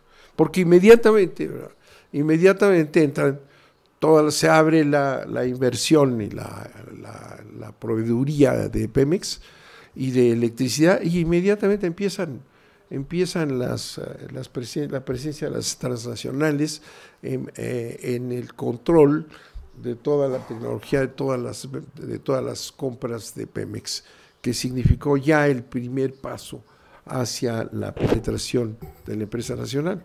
En materia eléctrica, que hay que considerar las, dos juntas, en materia eléctrica, en el Tratado Libre de Comercio se establecen unas cosas extrañas que también aprueba el gobierno salinista, que significó un cambio simplemente de palabras. Eh, la, la constitución establecía la generación, transmisión y distribución de energía eléctrica para el servicio público está reservada al Estado. En el Tratado de, Libre Comercio aparece eh, la importación y exportación de energía eléctrica no, no es servicio público, por tanto se puede abrir. La, la generación de energía eléctrica para el autoconsumo, pues no es servicio público, también debe de separarse. Y con estas interpretaciones simplemente de, terminología, Salinas publica una ley, de una nueva ley de energía eléctrica y ya mete estos, conceptos eh, del Tratado de Libre Comercio y empieza inmediatamente la, la, apertura de generadores independientes, de la este, presencia de empresas norteamericanas en la frontera mexicana, una de ellas Sempra, por cierto, que es un gigante que está ya metido en ductos y todo. Entonces en las, en las fronteras se empieza a generar energía eléctrica en México para venderla a California en un negocio fantástico. Y en el sur también se posicionan las empresas norteamericanas en todas las fronteras. Con, esa, con ese cambio y empiezan a penetrar. y empiezan a crear, a, crear eh, este, enclaves en, zona, en, zonas industriales como en Nuevo León, en Monterrey, en donde se inventa que eh, fue aquella época de esta empresa que tronó brutalmente, ¿recuerdas cómo se llamaba? Entonces se me ve el nombre. Entran e inventan que es un que van a hacer un, una, un trabajo de, de, autogeneración de energía para el autoconsumo que está, permitido, Y entonces eh, llega, llega esta, esta empresa, se establece el Enron, la famosa Enron, ahí está en Monterrey empezó eh, a, distribuir acciones a los industriales y empezaron a apoderarse de las zonas más importantes de consumo eléctrico en, las zonas industriales del país. O sea, esto fue avanzando en un diseño muy claro del Departamento de Estado de los Estados Unidos. La, la, esta, la violación de la Constitución y de las leyes permanente. Entran 12 años de panismo, igual Fox y Calderón, violando la ley, generando este tipo de, supuestas eh, este, generadores independientes de autoconsumo en electricidad. Y en, y en, y en, el, área de, en el área de petróleo, de hidrocarburos, eh, la, presencia de las empresas eh, se empieza a convertir en en los brazos mismos de Pemex. Esto de la proveeduría y de tener, darles los servicios, empieza Pemex a perder su capacidad de producción y irse entregando a las empresas, a, cada vez mayores empresas extranjeras ya metidas en petróleo. Más adelante viene la reforma, reforma energética de Calderón, que es lo mismo, es una continuación, con una campaña impresionante en los medios de comunicación, siempre empieza así, se acordarán ustedes, los no tan jóvenes, del tesoro en el mar que había que ir a conquistar, ¿no? Eh, eh, la oportunidad estaba en el mar, había que ir por ese tesoro que estaba ahí, porque pues, está decayendo la producción eh, y ese es infinito el, el, petróleo que existe en el Golfo de México. Esa, esa campaña, bueno, pues llevó a, la necesidad de hacer cambios. Lo que aquí decía este Felipe, ¿no? El que se oponga es un estúpido. ¿Cómo, cómo puede alguien oponerse a que ese tesoro que está ahí eh, no, no, no vayamos por él? Claro que el tesoro tiene que conseguirse con, pues, con las plataformas norteamericanas y las inversiones gigantescas. que no producen necesariamente mucho, mucho dinero, ¿verdad? Pero sí producen mucha, mucha compra de equipos y plataformas y millones y millones. La reforma de, la reforma de, Calderón, que se presentó también como un avance, no se atrevieron todavía a reformar la Constitución, sino simplemente a violarla, ¿no? ya abiertamente en la electricidad y abiertamente en, estas actividades. ¿Qué, logra en, materia de, este, hidrocarburos? Logra eh, la, autorización a la reforma de que ya puede contratar todo. Sí, bueno, la empresa petrolera de primer orden mundial, sin duda alguna, tenía que, este, puede contratar todo.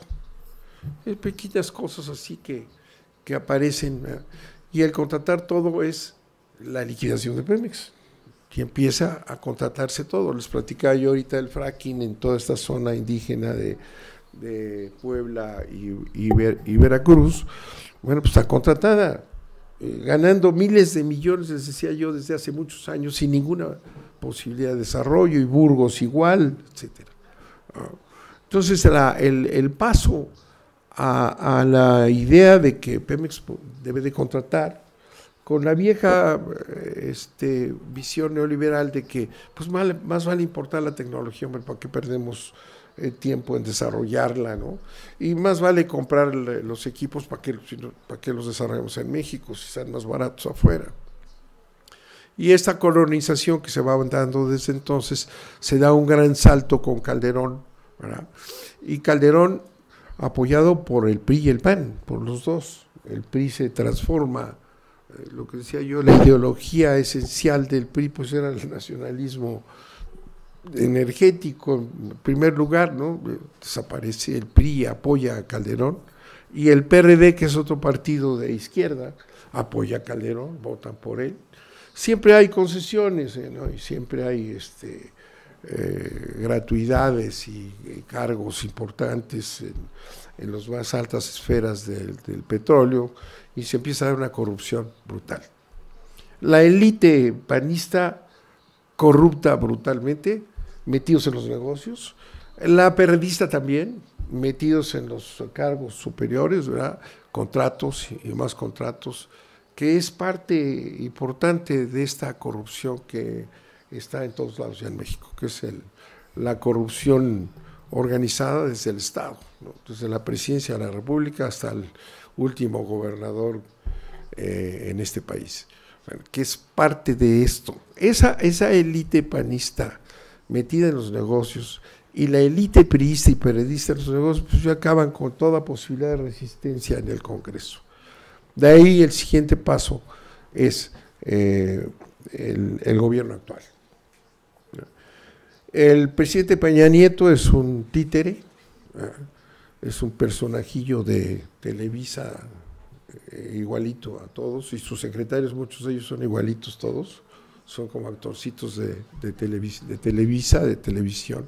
Las mujercitas también, desde luego. Eh, Peña Nieto se compromete a hacer ya la reforma constitucional. Pues, qué mejor que un gobierno del PRI para hacerla.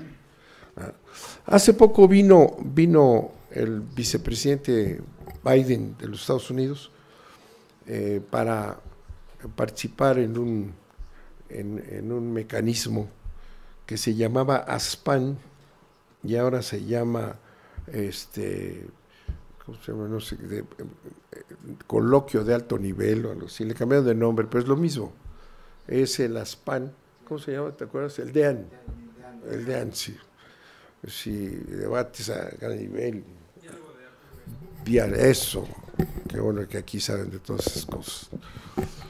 Bueno, entonces, vino, vino el vicepresidente de los Estados Unidos a este diálogo de alto nivel que es la inconstitucionalidad más absoluta, porque ahí las élites de Estados Unidos y México deciden todo sin pasar por el Congreso. ¿eh? El Congreso está hecho a un lado, ahí arreglan todo, la frontera, el desarrollo interno, la tecnología, el manejo y ahora la seguridad también. Hace, se acaba de ir este, el jefe, el secretario de Homeland Security, un tal Johnson, se acaba de ir y lo reciben con banderas de todos lados y él decide, eh, la seguridad la deciden ellos ya en México, porque es la seguridad de América del Norte. Entonces ahí, ahí este, eh, en unos de esos discursos que salen en los medios nada más, no lo que se discute adentro, el vicepresidente de los Estados le dice al pequeño presidente, le dice, eh, usted se comprometió a hacer reformas que se esperaban hace años y lo ha cumplido, se comprometió. ¿Con quién se comprometió? Con ellos. Es una confesión clara, abierta, que él para llegar a la presidencia se comprometió con Estados Unidos desde el principio y empezó a hablarlo desde su campaña. Esa, ese compromiso pues llevó a, a la reforma energética del país, que es un atraco verdaderamente descomunal. Se firma un acuerdo entre los partidos mayoritarios, PAN, PRI y PRD, se llamó el Pacto por México, y, ese Pacto por México, si bien habían llegado por votaciones distintas, PAN y el PRD, se unen en ese pacto y en ese pacto está bueno, la reforma constitucional la reforma energética, firmadita por los tres. ¿Y qué pasa entonces? Pues lo que pasa es que el Congreso queda en manos del Ejecutivo. Entonces es un golpe, yo digo, es un golpe de Estado. Con esa unificación de, de, de, de esas tres corrientes que son distintas supuestamente, ya no, ya hace tiempo ya no lo son, están en la misma posición, se han ido todos a juntar Y los intereses que apoyan al PRI, sostienen al PAN y a los otros también, son los mismos. Ya es una, una oligarquía que tiene a los partidos eh, como instrumentos. El Congreso, el Congreso queda en manos del títere y este de los intereses. ¿Por qué? Porque ya no hay diferencia. Los votos que obtiene el PRD, 22 senadores, son de un de, Andrés Manuel López Obrador, eh, que lo traicionan en el, primer minuto. Se suman a, Peña Nieto. Y los votos de, del PAN también se suman y hacen una claque en el Congreso y aprueban todo. Y aprueban todo sin discusión. Por eso les decía yo que la discusión es importante. No ha habido. Las, eh, eh, todo el proceso, todo el proceso de la reforma energética, todo ese proceso fue ilegal. Las reformas constitucionales aquí, como dices tú, eh, las, las transnacionales, reforma la constitución argentina, aquí también, el vicepresidente de los Estados Unidos llegó y se ocupó de que ese asunto pasara. Pues se reforma la Constitución, ¿quién? Los tres partidos mayoritarios del país. Ellos reforman la Constitución y el, proceso de reforma constitucional está regido por la propia Constitución. El artículo 135 establece cómo debe hacerse, respetando, respetando los procedimientos, las iniciativas el, dictamen en, las comisiones con discusión, análisis, con representación de todos los partidos, porque es el debate en el Parlamento el que permite que se conozca la realidad y, la, y se contrasten las ideas, no contraste ninguno. Las, las, eh, los dictámenes llegaban de fuera hechos, se aprobaban en minutos y pasaban al, al, Pleno, en donde se aprobaban sin discusión. Para poder discutir había que hacer maromas, porque si los tres están de acuerdo, tienen la mayoría, entonces las reglas son el silencio, eh, la no discusión, eh, la aprobación, el no contestar nunca un, un, planteamiento contrario, no se contesta. Y todo ese, esa, ese golpe de Estado, eh, ese control del Congreso por los intereses del Ejecutivo, ¿verdad? todo eso protegido ¿por qué? por los medios de comunicación. ¿verdad? Por aquello que les platicaba yo, que en Televisa pues están los que, los grandes prohombres de México, los eh, que saben, los que son los que eh, fijan la, la ideología y la cultura política nacional, son los que ellos escogen. Y no se permite que entre absolutamente nadie que esté, que tenga la menor duda sobre esto. ¿no? Tiene que estar ahí todo. Entonces, toda esta tropelía y toda esta violación legislativa en, el Congreso, todo esto, este, pues no salió en los medios. Hay el canal del Congreso, que todavía entonces estaba simplemente, si tienes cable, en un cierto nivel. Pero todo lo demás pasó de noche, nadie se entera nadie se entera sino los comentarios de estos que hemos escuchado durante años de López Dóriga, de estos que mienten y dicen y generan una sociedad y un país que no existe, virtual. Entonces tenemos eh, esa, esa reforma por esta prostitución de los partidos. ¿Y qué es lo que está atrás? ¿Qué es lo que está atrás de esa unificación de tres fuerzas supuestamente antagónicas? La corrupción, la corrupción. La élite panista que, estuvo eh, con Calderón aprendió, fueron secretarios de energía, subsecretarios, directores aquí y allá, aprendieron, y ya la corrupción tradicional de Pemex se convirtió en una corrupción institucional del Partido Acción Nacional, de su élite. De manera que cuando empezó eh, Peña Nieto a plantear eh, que habría una reforma, ocultando siempre poco a poco, fue hablando de que iba a reformar la Constitución, el PAN estaba apoyándolo en todos los programas de radio, de televisión, el Partido Acción Nacional, el, contrario, digamos, y obviamente el PRD también.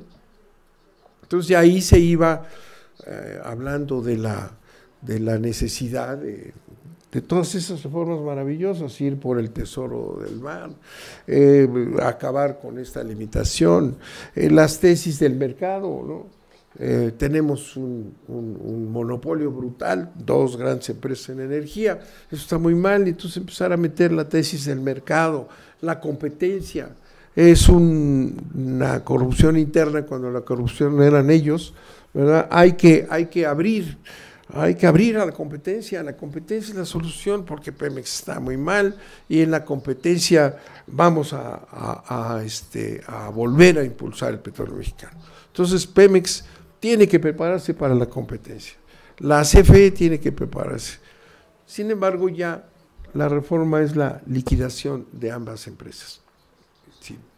No solamente, y esto, y esto que, que tú conoces, Felipe, comentabas, eh, la reforma energética para, para quienes hemos seguido este tema años, desde años atrás, y vimos cómo eh, en, este, eh, por ejemplo, en Perú, en los últimos momentos del presidente aquel este, eh, que fue en algún tiempo joven, eh, tenía que, no el otro, este, el que salió al final, Alan García. Alan García usó el ejército para matar indígenas en las zonas eh, amazónicas, porque era un compromiso con las empresas, este, con las empresas que recibían las concesiones en las zonas donde está el petróleo. Que fue de las de lo que le, le hizo daño para perder esa elección. Entonces vemos que de repente empiezan a entrar eh, fuera de las en, el proceso de reforma constitucional, fuera de los dictámenes y fuera de lo que se discutía, empiezan a aparecer este adendums de repente, eh, como por ejemplo, y aquí ayer lo tocó alguno de los que participaron, ¿verdad? Esta- dejar el, el- el- manejo de la Constitución fue muy habilidoso por expertos, ¿no? Porque quitan la, dejan, dejan como, como materia estratégica eh, la, la energía, es materia estratégica. El origen de, la, de, de ese concepto de ser estratégico, por tanto, debe de quedar en manos del Estado. Bueno, queda como estratégica, pero ya no en manos del Estado. Entonces, siendo la, energía y la explotación de la energía una industria estratégica, debe tener toda clase de privilegios. Y ahí se establece abiertamente en la Constitución y las leyes la, la ocupación temporal de las tierras que al principio en su, en su este, planteamiento inicial es la expropiación directa eh, como compromiso del Estado de entregarles a las transnacionales a las que les iban a dar las concesiones, que no son concesiones, se llaman de otra manera, para no violar la Constitución literalmente. Entonces es, es una obligación del Estado, al dar una concesión, ¿verdad? garantizarles la explotación en donde sea. Entonces hay que eh, ocupar las tierras sin límite alguno. Sí, la, la- la- las, no solamente los ductos y cosas, no, no, no, lo que necesiten para sus instalaciones y producción y lo que sea. Sí, el propio Congreso mexicano, con los tres partidos, aprobaron el darles a las empresas transnacionales la prerrogativa y el derecho sobre el Estado mexicano de que les tienen que entregar las tierras que ellos consideren importantes. Esto es esto que hablabas de, lo- de los mapuchos. Este, aquí ya está en la ley. Y claro, la violación al- a la OIT y su, su, este establecimiento de que las propiedades de las comunidades no pueden expropiarse, tiene que haber todo un proceso, no lo hay. Entonces, esto, esto, es, esto es lo que ha sido la, la, la reforma, ¿verdad? Un golpe de Estado. Un golpe de Estado de tres eh, eh, sinvergüenzas que se ponen de acuerdo, cínicos, pero arriba está la corrupción, arriba está el negocio. Los eh, antiguos funcionarios del panismo en materia de energía están ya ligados a los Bush o a los no sé qué, están entrando al negocio eh, el PAN. Y el PRI a través de, ¿verdad? de un gran desarrollo que fueron haciendo, por ejemplo, Pedro Aspe, que fue secretario de, secretario de Hacienda, fundó una empresa y es el canal para la inversión norteamericana en energía. Decíamos Sempra, que se quedó con ductos de Pemex ahora, es una empresa fundada originalmente por priistas, los que estuvieron metidos en, en la reforma esta neoliberal, son los que dirigen los enormes negocios para ser socios a, esos grandes intereses y personeros en los negocios de la explotación, de la entrega del petróleo, es la corrupción. Atrás está. Atrás de esto, eso hace, eso hizo, fue el cemento para unificar a los tres, a los tres partidos. Eh, no hay discusión. No, no sabemos qué pasa. Es un problema tremendo obtener información a través de todos estos sistemas de transparencia que nos sirven. Ah, Hay una ley, sí, este, eh, una guía de criterios de la Secretaría encargada de la, de la ecología. Eh, hicieron dentro de la reforma el compromiso de que habría, hay una serie de principios, no se aplican en ningún lado. Y, la, y, y todo, todo esta, toda esta reforma viene acompañada de reformas en materia de seguridad. Por eso me llamó la atención cuando hablaste de terrorismo. Una reforma al Código Penal, una reforma al Código Penal establece una serie de eh, delitos que ya están en el Código Penal, pero que ahí los multiplican en penas. ¿verdad? Entonces meten el concepto terrorismo en relación con cualquier atentado o cualquier estorbo que haya en alguna zona petrolera o alguna, o alguna empresa petrolera, puede alegar terrorismo de una población que pudiera ser esa resistencia que vimos aquí. ¿eh? Ese es terrorismo, porque está en el Código Penal ya. Y, están potencializadas todas las, todas las penas en relación con el área energética, porque son las exigencias de Estados Unidos. Si las vas leyendo como, dice, mientras no haya este tipo de garantías, pues no van a venir. Entonces hay condicionados, van a venir a apoderarse del territorio, pero siempre y cuando, ¿verdad? Y las primeras rondas, y para, empezaron los chiquitos, todavía los grandes no. Estaban esperando que se fuera ablandando más la situación. La seguridad es una condición, la seguridad es una condición para que inviertan. Y nosotros necesitamos que inviertan, porque Pemex se está destruyendo poquito a poco con, una gran, con un gran cinismo. Eh, este, la seguridad es básica, si no, no venimos. Ahí están las notas. ¿Qué es lo que pasa con la seguridad? Pues lo que estamos viviendo desde entonces a una gran velocidad de un Estado policíaco militar. Un país como el nuestro que no tenía ejército este, eh, para combatir a nadie, ¿verdad? Un ejército encargado y querido por el pueblo, hoy es un ejército carísimo.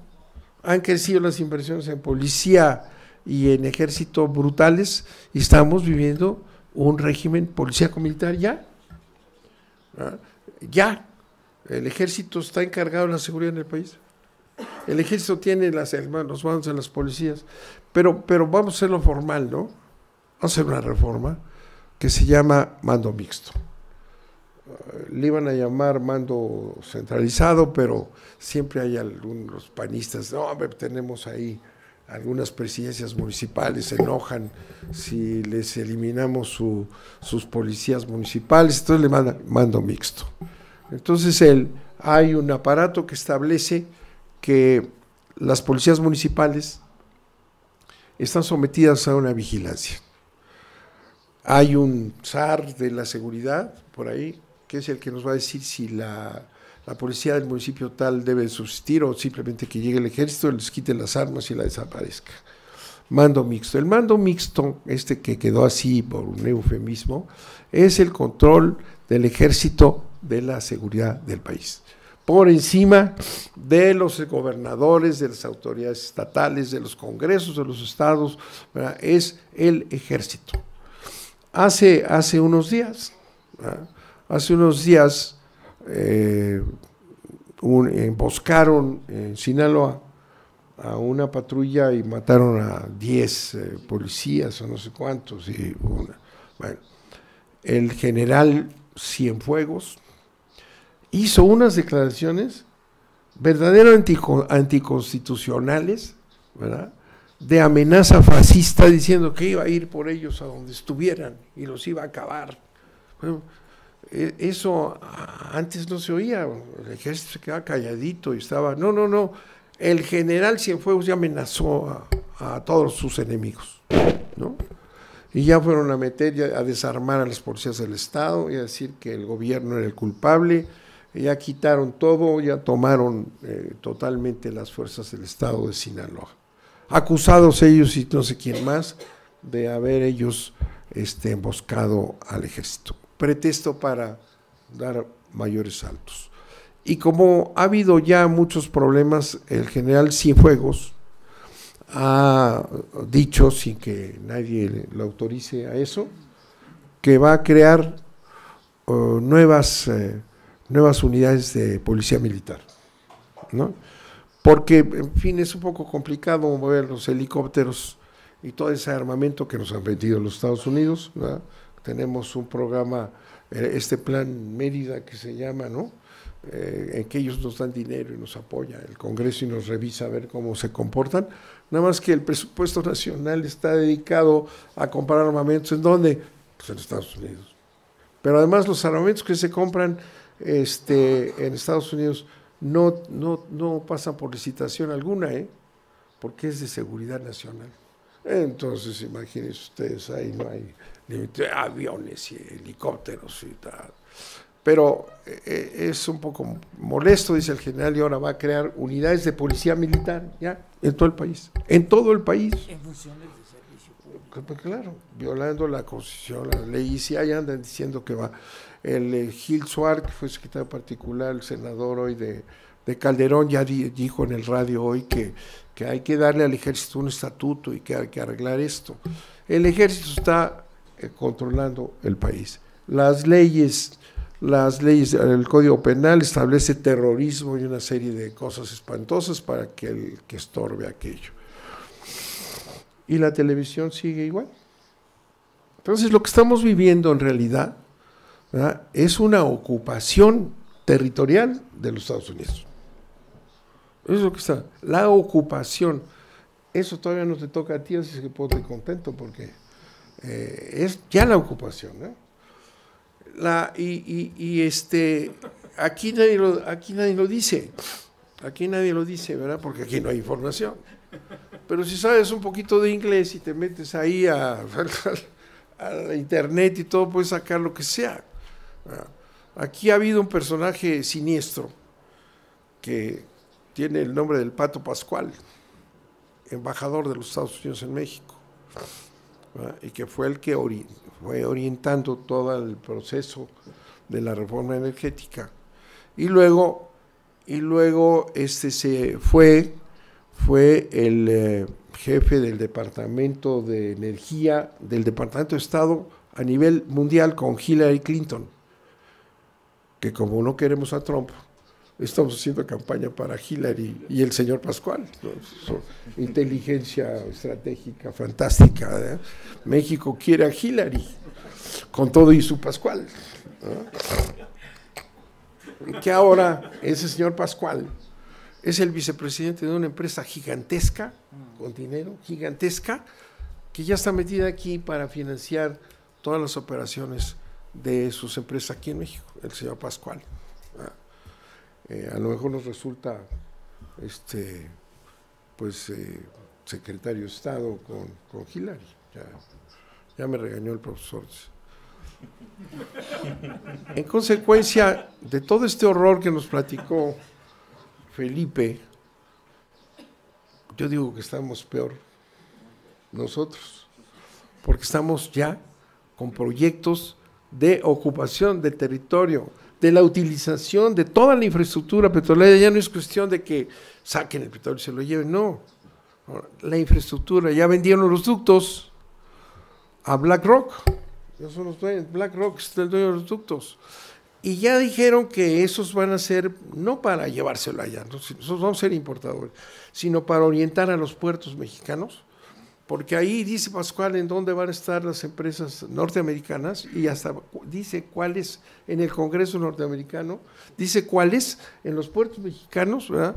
Y entonces eh, la energía y los ductos mexicanos van a ser toda la infraestructura. Y la infraestructura eléctrica, y ya con esto termino, según el señor vicepresidente y sus acuerdos estos, eh, ya nos pidió, nos comprometimos a ayudarlos porque el negocio eléctrico, dice don Pascual, es de quién sé cuántos trillones de para las empresas norteamericanas, así está dicho en el Congreso allá.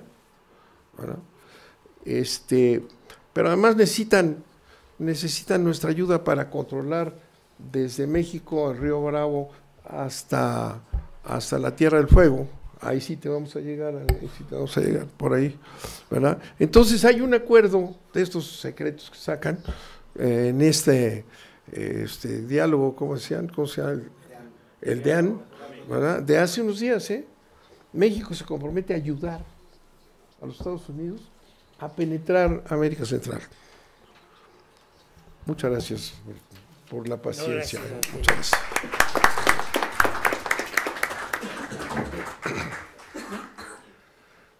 Bianca, no estás aquí, estás en la... ¿Quieres entrar a hablar? Sí. Bien. ¿Quieres este, la palabra? No. ¿Alguien? ¿Comentarios? Sí. José María. Sí.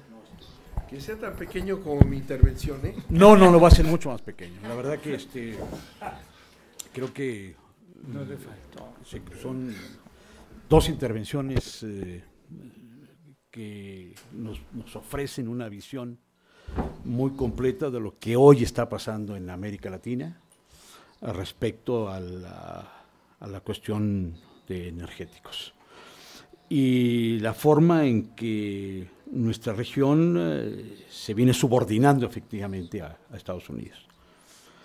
Eh, desde luego yo conozco mucho más la, el caso de la historia de, de México y, debo decir que comparto plenamente la, la posición del senador Bartlett.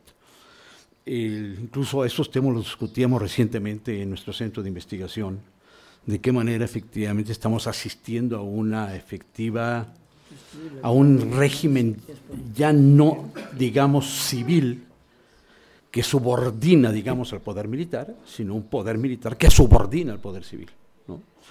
Y esto es absolutamente inédito, por lo menos no tenemos esa experiencia desde la Revolución, desde los, la Revolución Mexicana, ¿no? Es un cambio, efectivamente. Usted llama justamente un golpe de Estado, ¿no? Este, y es, realmente es un, golpe de Estado institucional, además, ¿no? Este, estas formas nuevas que estamos viendo, efectivamente, de intervención norteamericana, ¿no? que no pasan ya efectivamente por los golpes militares, ¿no? sino que nosotros mismos, a través de nuestras propias instituciones, nos encargamos efectivamente de volcar la situación a favor efectivamente de los intereses norteamericanos. Eh, yo quisiera este, simplemente hacer un, pe una, un pequeño agregado efectivamente a lo que usted señaló. Y me parece que el narcotráfico, ha jugado en todo esto un papel sustancial. ¿no? El narcotráfico ha sido también efectivamente un elemento clave para entender este proceso, digamos, de desnacionalización de nuestro país y de incluso de certificación de territorios, ¿no? Este, permitiendo así la ocupación efectivamente por empresas, ¿no? de vastas áreas, digamos, dedicadas posteriormente a la exportación de petróleo. ¿No? Este, el, y desde luego este proceso de nacionalización lo vemos, bien, lo vemos viendo, lo, lo, estamos viviendo desde ya tiempo atrás. ¿no? Este, el, yo creo que incluso los cambios vienen propiamente desde el mismo régimen de, de la Madrid, ¿no? cuando se modifica la Constitución al hablar efectivamente de actividades estratégicas y prioritarias por parte del Estado yo creo que ya notamos, efectivamente, vemos efectivamente una, un vuelco, efectivamente, ¿no? que eh, hoy estamos viéndolo efectivamente en sus consecuencias más, más graves y yo diría que incluso de dimensión astronómica, ¿no? Digo, por lo que toca efectivamente a nuestro país. Y esto eleva de manera considerabilísima, digamos, las tareas que tocan efectivamente a la sociedad que tocan, yo creo que a las instituciones académicas también, ¿no? Frente a este silencio del que usted hacía referencia, ¿no? Por parte de los, de los medios, habría que buscar efectivamente otros medios alternativos para poder efectivamente expresar esta situación, digamos, que estamos hoy, hoy viviendo. Gracias. Muchas gracias.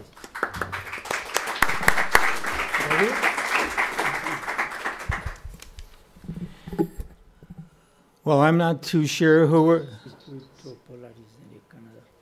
I'm not too sure who we're supposed to be responding to, whether it's Philippe or Senator Bartlett. But anyway, I'll, I'll do a little bit of both, okay? um, first of all, I, I want to make three points. First of all, in response to Senator Bartlett, I, I really I was really taken by some of the points that you made, and uh, it was uh, what I want to come around to is the whole notion of what happened in NAFTA. I'm old enough to have been very active from the Canadian standpoint in the fight on, on, on the whole battle regarding NAFTA. Um, and I know because I was, uh, I headed a, a national coalition in the country to take on and challenge the, uh, the, the negotiators and what they were doing in terms of the North American Free Trade Agreement. And in that in that engagement involvement, we saw a lot of things happening, including the attempt to write to, to amend and or take out certain portions of the Mexican Constitution. And we raise that as saying, well, that's exactly what's happening in Canada, except it's not all Constitution, it's just our laws and our fundamental positions on different things, particularly around energy, because we ended up agreeing to an energy clause prior to the negotiation of NAFTA through the Canada US Free Trade Agreement process. We agreed as a country or the Mulroney government at the time did, that, uh, that we would uh, continue exporting to the United States uh, at a level that was equal to the average of the previous three years. Now, I have to keep, take this into consideration because what we were doing at that time was increasing our exports of hydropower to the United States increasing our gas and oil exports to the United States at a time when the United States was dependent upon the Middle East and the Middle East for its sources. And, it, and in order to deal with its Middle East policies and everything else, it had to strengthen more independent, uh, uh, or sorry, no, more continental uh, contribution to, to the energy situation. So I just want to point that out that that was a huge part of the struggle that we went through at that time. And we're still living with it. We're still living with that because for one thing, we, we don't, we get, we produce all this oil and gas and everything else, and where does it go? To the U.S. And that's, you know, creates a whole different dynamic in terms of how your country relates, you know, continentally and everything else. So that's the, that's the first point I wanted to make. Um, I might say, in addition to that point, that is that uh, the Mexican government at the time, when it came to negotiation of NAFTA, was quick and smart enough not to accept the same kind of conditions. But it didn't mean to say that, that the pressure was not already on at that time and beginning to, to unravel. The second point I want to make is that is, is really about these free trade regimes. And that is, they came into being because of that historic moment, the Canada US Free Trade Agreement, immediately followed by the negotiations of NAFTA. That set the framework for free trade agreements around the world. And that's what we've been living with because these free trade agreements have created a whole new set of rules and, uh, and institutional powers and everything else, which govern the, the global economy now in a way that didn't exist before. And the World Trade Organization evolved out of that because it was originally the, the General Agreement on Trade and Tariffs, became the World Trade Organization with certain powers that were some, in some ways, incorporated on the basis of what happened in the NAFTA negotiations. And uh, we went on from there to develop a global uh, trade, free trade regime with a bunch of bilateral and multilateral trade agreements, hundreds of them actually, since then.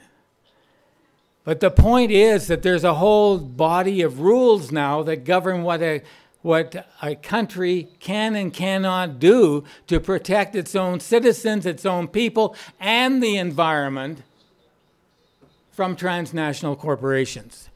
Because fundamentally, when you size it all up, these free trade agreements amount to one, one main thing, and that is a set of global rules for transnational corporations.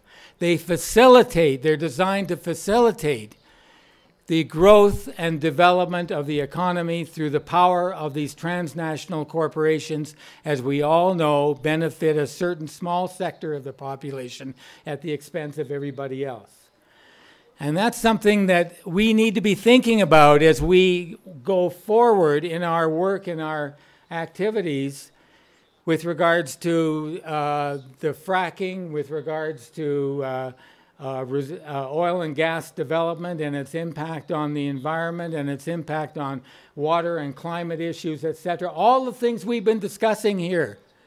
And to talk about alternatives. And yes, we do need to develop alternatives as, as civil society and communities, just as Philippe was saying. But at the same time, we need to be aware of what we're up against. And we really are up against these, this whole constellation of, of new powers that exist and new rules that exist that need to be dismantled if we are in fact going to be able to turn this whole this whole set of problems around.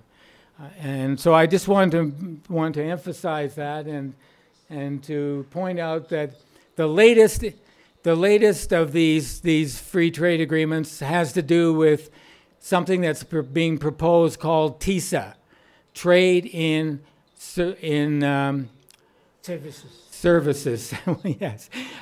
It's a trade and services agreement. And, and what it has done is take the energy sector and, and energy, which have always been defined in these new trade, trade treaties as energy services. Sounds very nice. We all want services, right? And but these are energy services, not public services. No, no, no. They're in the private sector. They are energy services because we have consumers and, and producers and, and markets and everything else for the sale of these services. And that's the way the, the world has unfolded. But what has happened is that in order, and most of these negotiations uh, regarding energy services in the past used to take place through these free trade, bilateral free trade agreements, but also through, through the World Trade Organization and something called GATS, the General Agreement on Trade and Services. But a number of producer countries, led by the United States, but not only the United States, including my own country, Canada, um, decided that to, to create a breakaway group to push the agenda of the liberalization of, of energy services much quicker, much faster than was happening through the World Trade Organization. And because there was a lot of protection built up uh, against fiddling with things like energy services, water services, and things like that in the, in the GATS. But the TISA, the, the um, uh, trade, trade and Services Agreement process, is a breakaway thing from the World Trade Organization based on the whole development of the last 25 years in terms of free trade regimes, but done so in a way to advance this agenda much quicker.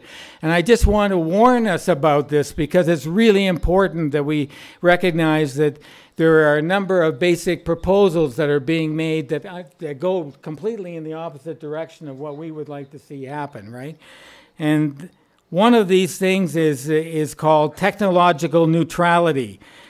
And regulators, regulators over uh, trade in, in, in uh, energy services have always said that we have a right to distinguish between solar and nuclear, wind from coal, geothermal from fracking, that there are there are good ways of going about things and not good ways of going about things in terms of development of renewable energy sources. And uh, so what they have said is that is that that should come that should be prevented. All technologies should be neutral, treated neutrally, which means that commitments would extend across all energy sectors, regard the commitments that is to the free trade agreements would would would commit uh, across all energy sectors, regardless of the fuel source or technology, denying regulators this right to make this distinction. So this is one point. Number two point is market, uh, free market, uh, uh, free markets.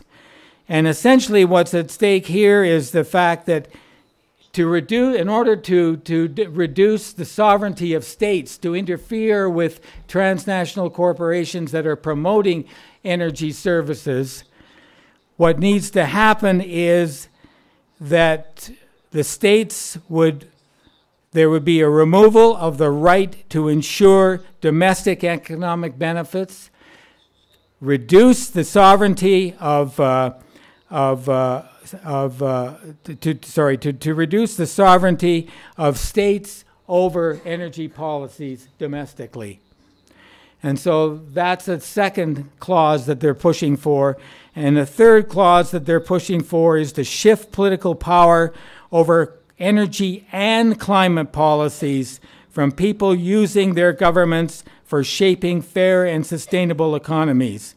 Global corporations using TISA, sorry, and instead, instead of that, they would promote global corporations using TISA for restricting uh, governments from regulating energy markets, companies, and industry infrastructure.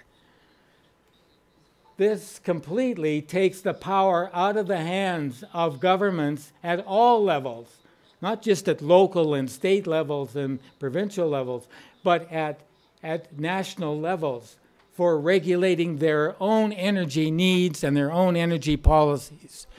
And so the whole transition that Philippe was talking about at the very end there about the transition from the kind of model we have now and policies we have now to a renewable energy future where we all have to go, we're going to be faced with these kinds of blocks. So I just wanted to point this out because it's something that I, I know was brought to my attention. Well, we knew about it beforehand, but um, I know for this seminar, for, for this colloquia, uh, John Sachs wanted to see that we ad- address this, this issue at some point, and this is in, in a little bit of an introduction. I will give you the title of a paper which is available on the internet. It's called the Free Fracking Agreement Proposed TISA Annex on Energy Related Services. The author is Victor Menotti from the, from the, uh, from the Coalition Against Economic Globalization. Okay? And the final thing I want to say is that if we're dealing with corporate power, which we have to, and by that I mean the, we're dealing with corporate players that are driving this agenda.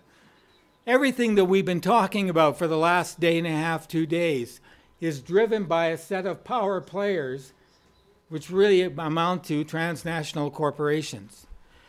But just as we have said over and over again, we need to, and this whole colloquium has been an, an excellent example of that, of bringing science into the picture to serve the process of change that needs to be brought about. In other words, that people's movements and social movements need to be further armed with the science that lies behind what it is we're trying to address here. And we had an excellent example with Seth uh, this morning on this. Just as all of that is, is, is, is front and center in our objectives, we also need to approach the analysis of corporations as a science, quite frankly. And we have developed a methodology of that in the Polaris Institute. And uh, among other things, we have uh, developed case studies of corporations.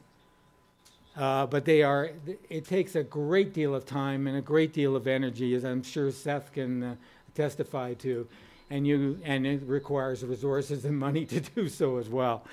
But I just want to draw your attention to a, which is available on our website now, the, uh, uh, the latest of uh, these, these um, uh, case studies and uh, what we call profiles, corporate profiles, profiles of transnational corporations.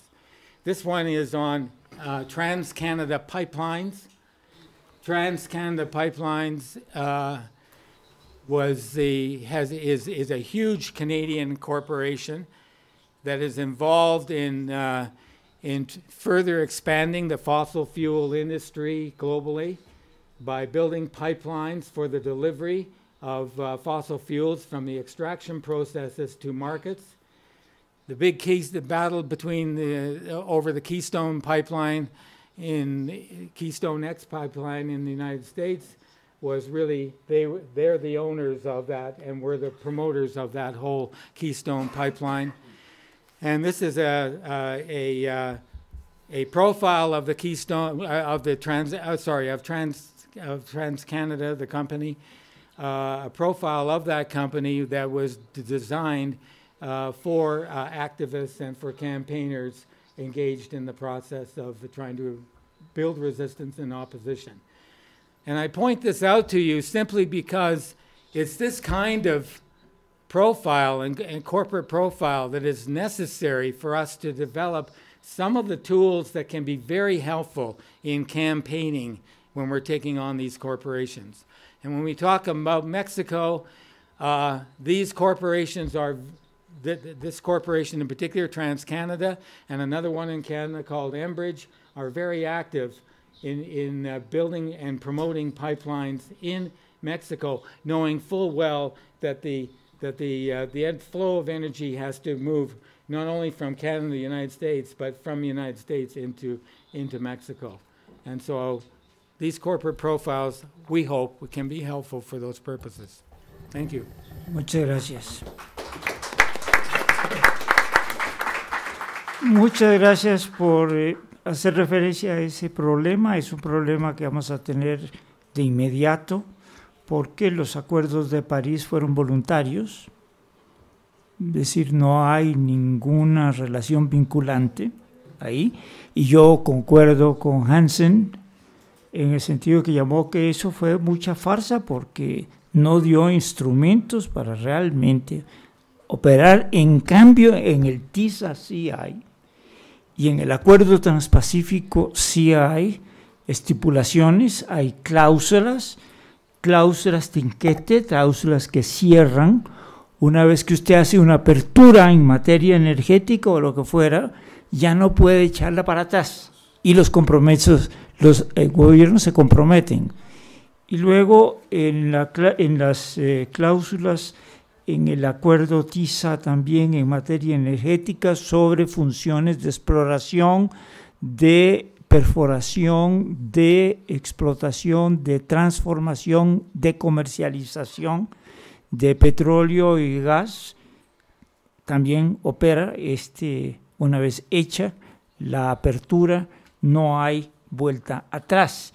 Y se constitucionaliza, es, es una constitución, en el sentido estricto de la palabra, porque estos tratados forman parte de la constitución.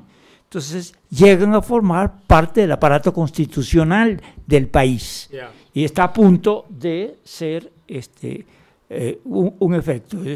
Es gravísimo porque es catastrófico para la especie humana en el sentido de detener el colapso climático antropogénico que está en curso. Yo quiero agradecerte y agradecer a todos los que fueron los invitados que han llegado, la invitada que vino de Brasil, de Ecuador, de este, Argentina, de Canadá, de Estados Unidos, y quienes nos han acompañado en la interlocución. Muchas gracias, senador. El embajador también Navarrete, que estuvo con nosotros. Eh, todos los compañeros que han venido de otras facultades a ayudarnos a la interlocución. Quiero dejar gracias a la directora de este centro que nos ha apoyado en todo, Guadalupe Valencia, y el equipo de ayudantes y de becarios que trabajan conmigo, sin ellos no se puede hacer nada de esto. Ellos son los que han hecho todo el esfuerzo desde hace meses, me han venido ayudando. Y para ellos también va un agradecimiento y para ustedes la invitación para venir a el tercer coloquio que va a ser este mes también, 27 y 28, sobre el mismo problema de la explotación de combustibles fósiles convencionales y no convencionales, pero de la perspectiva de los afectados, porque ya hay muchos afectados en todo el país. Y a ustedes muchas gracias por asistir. Gracias.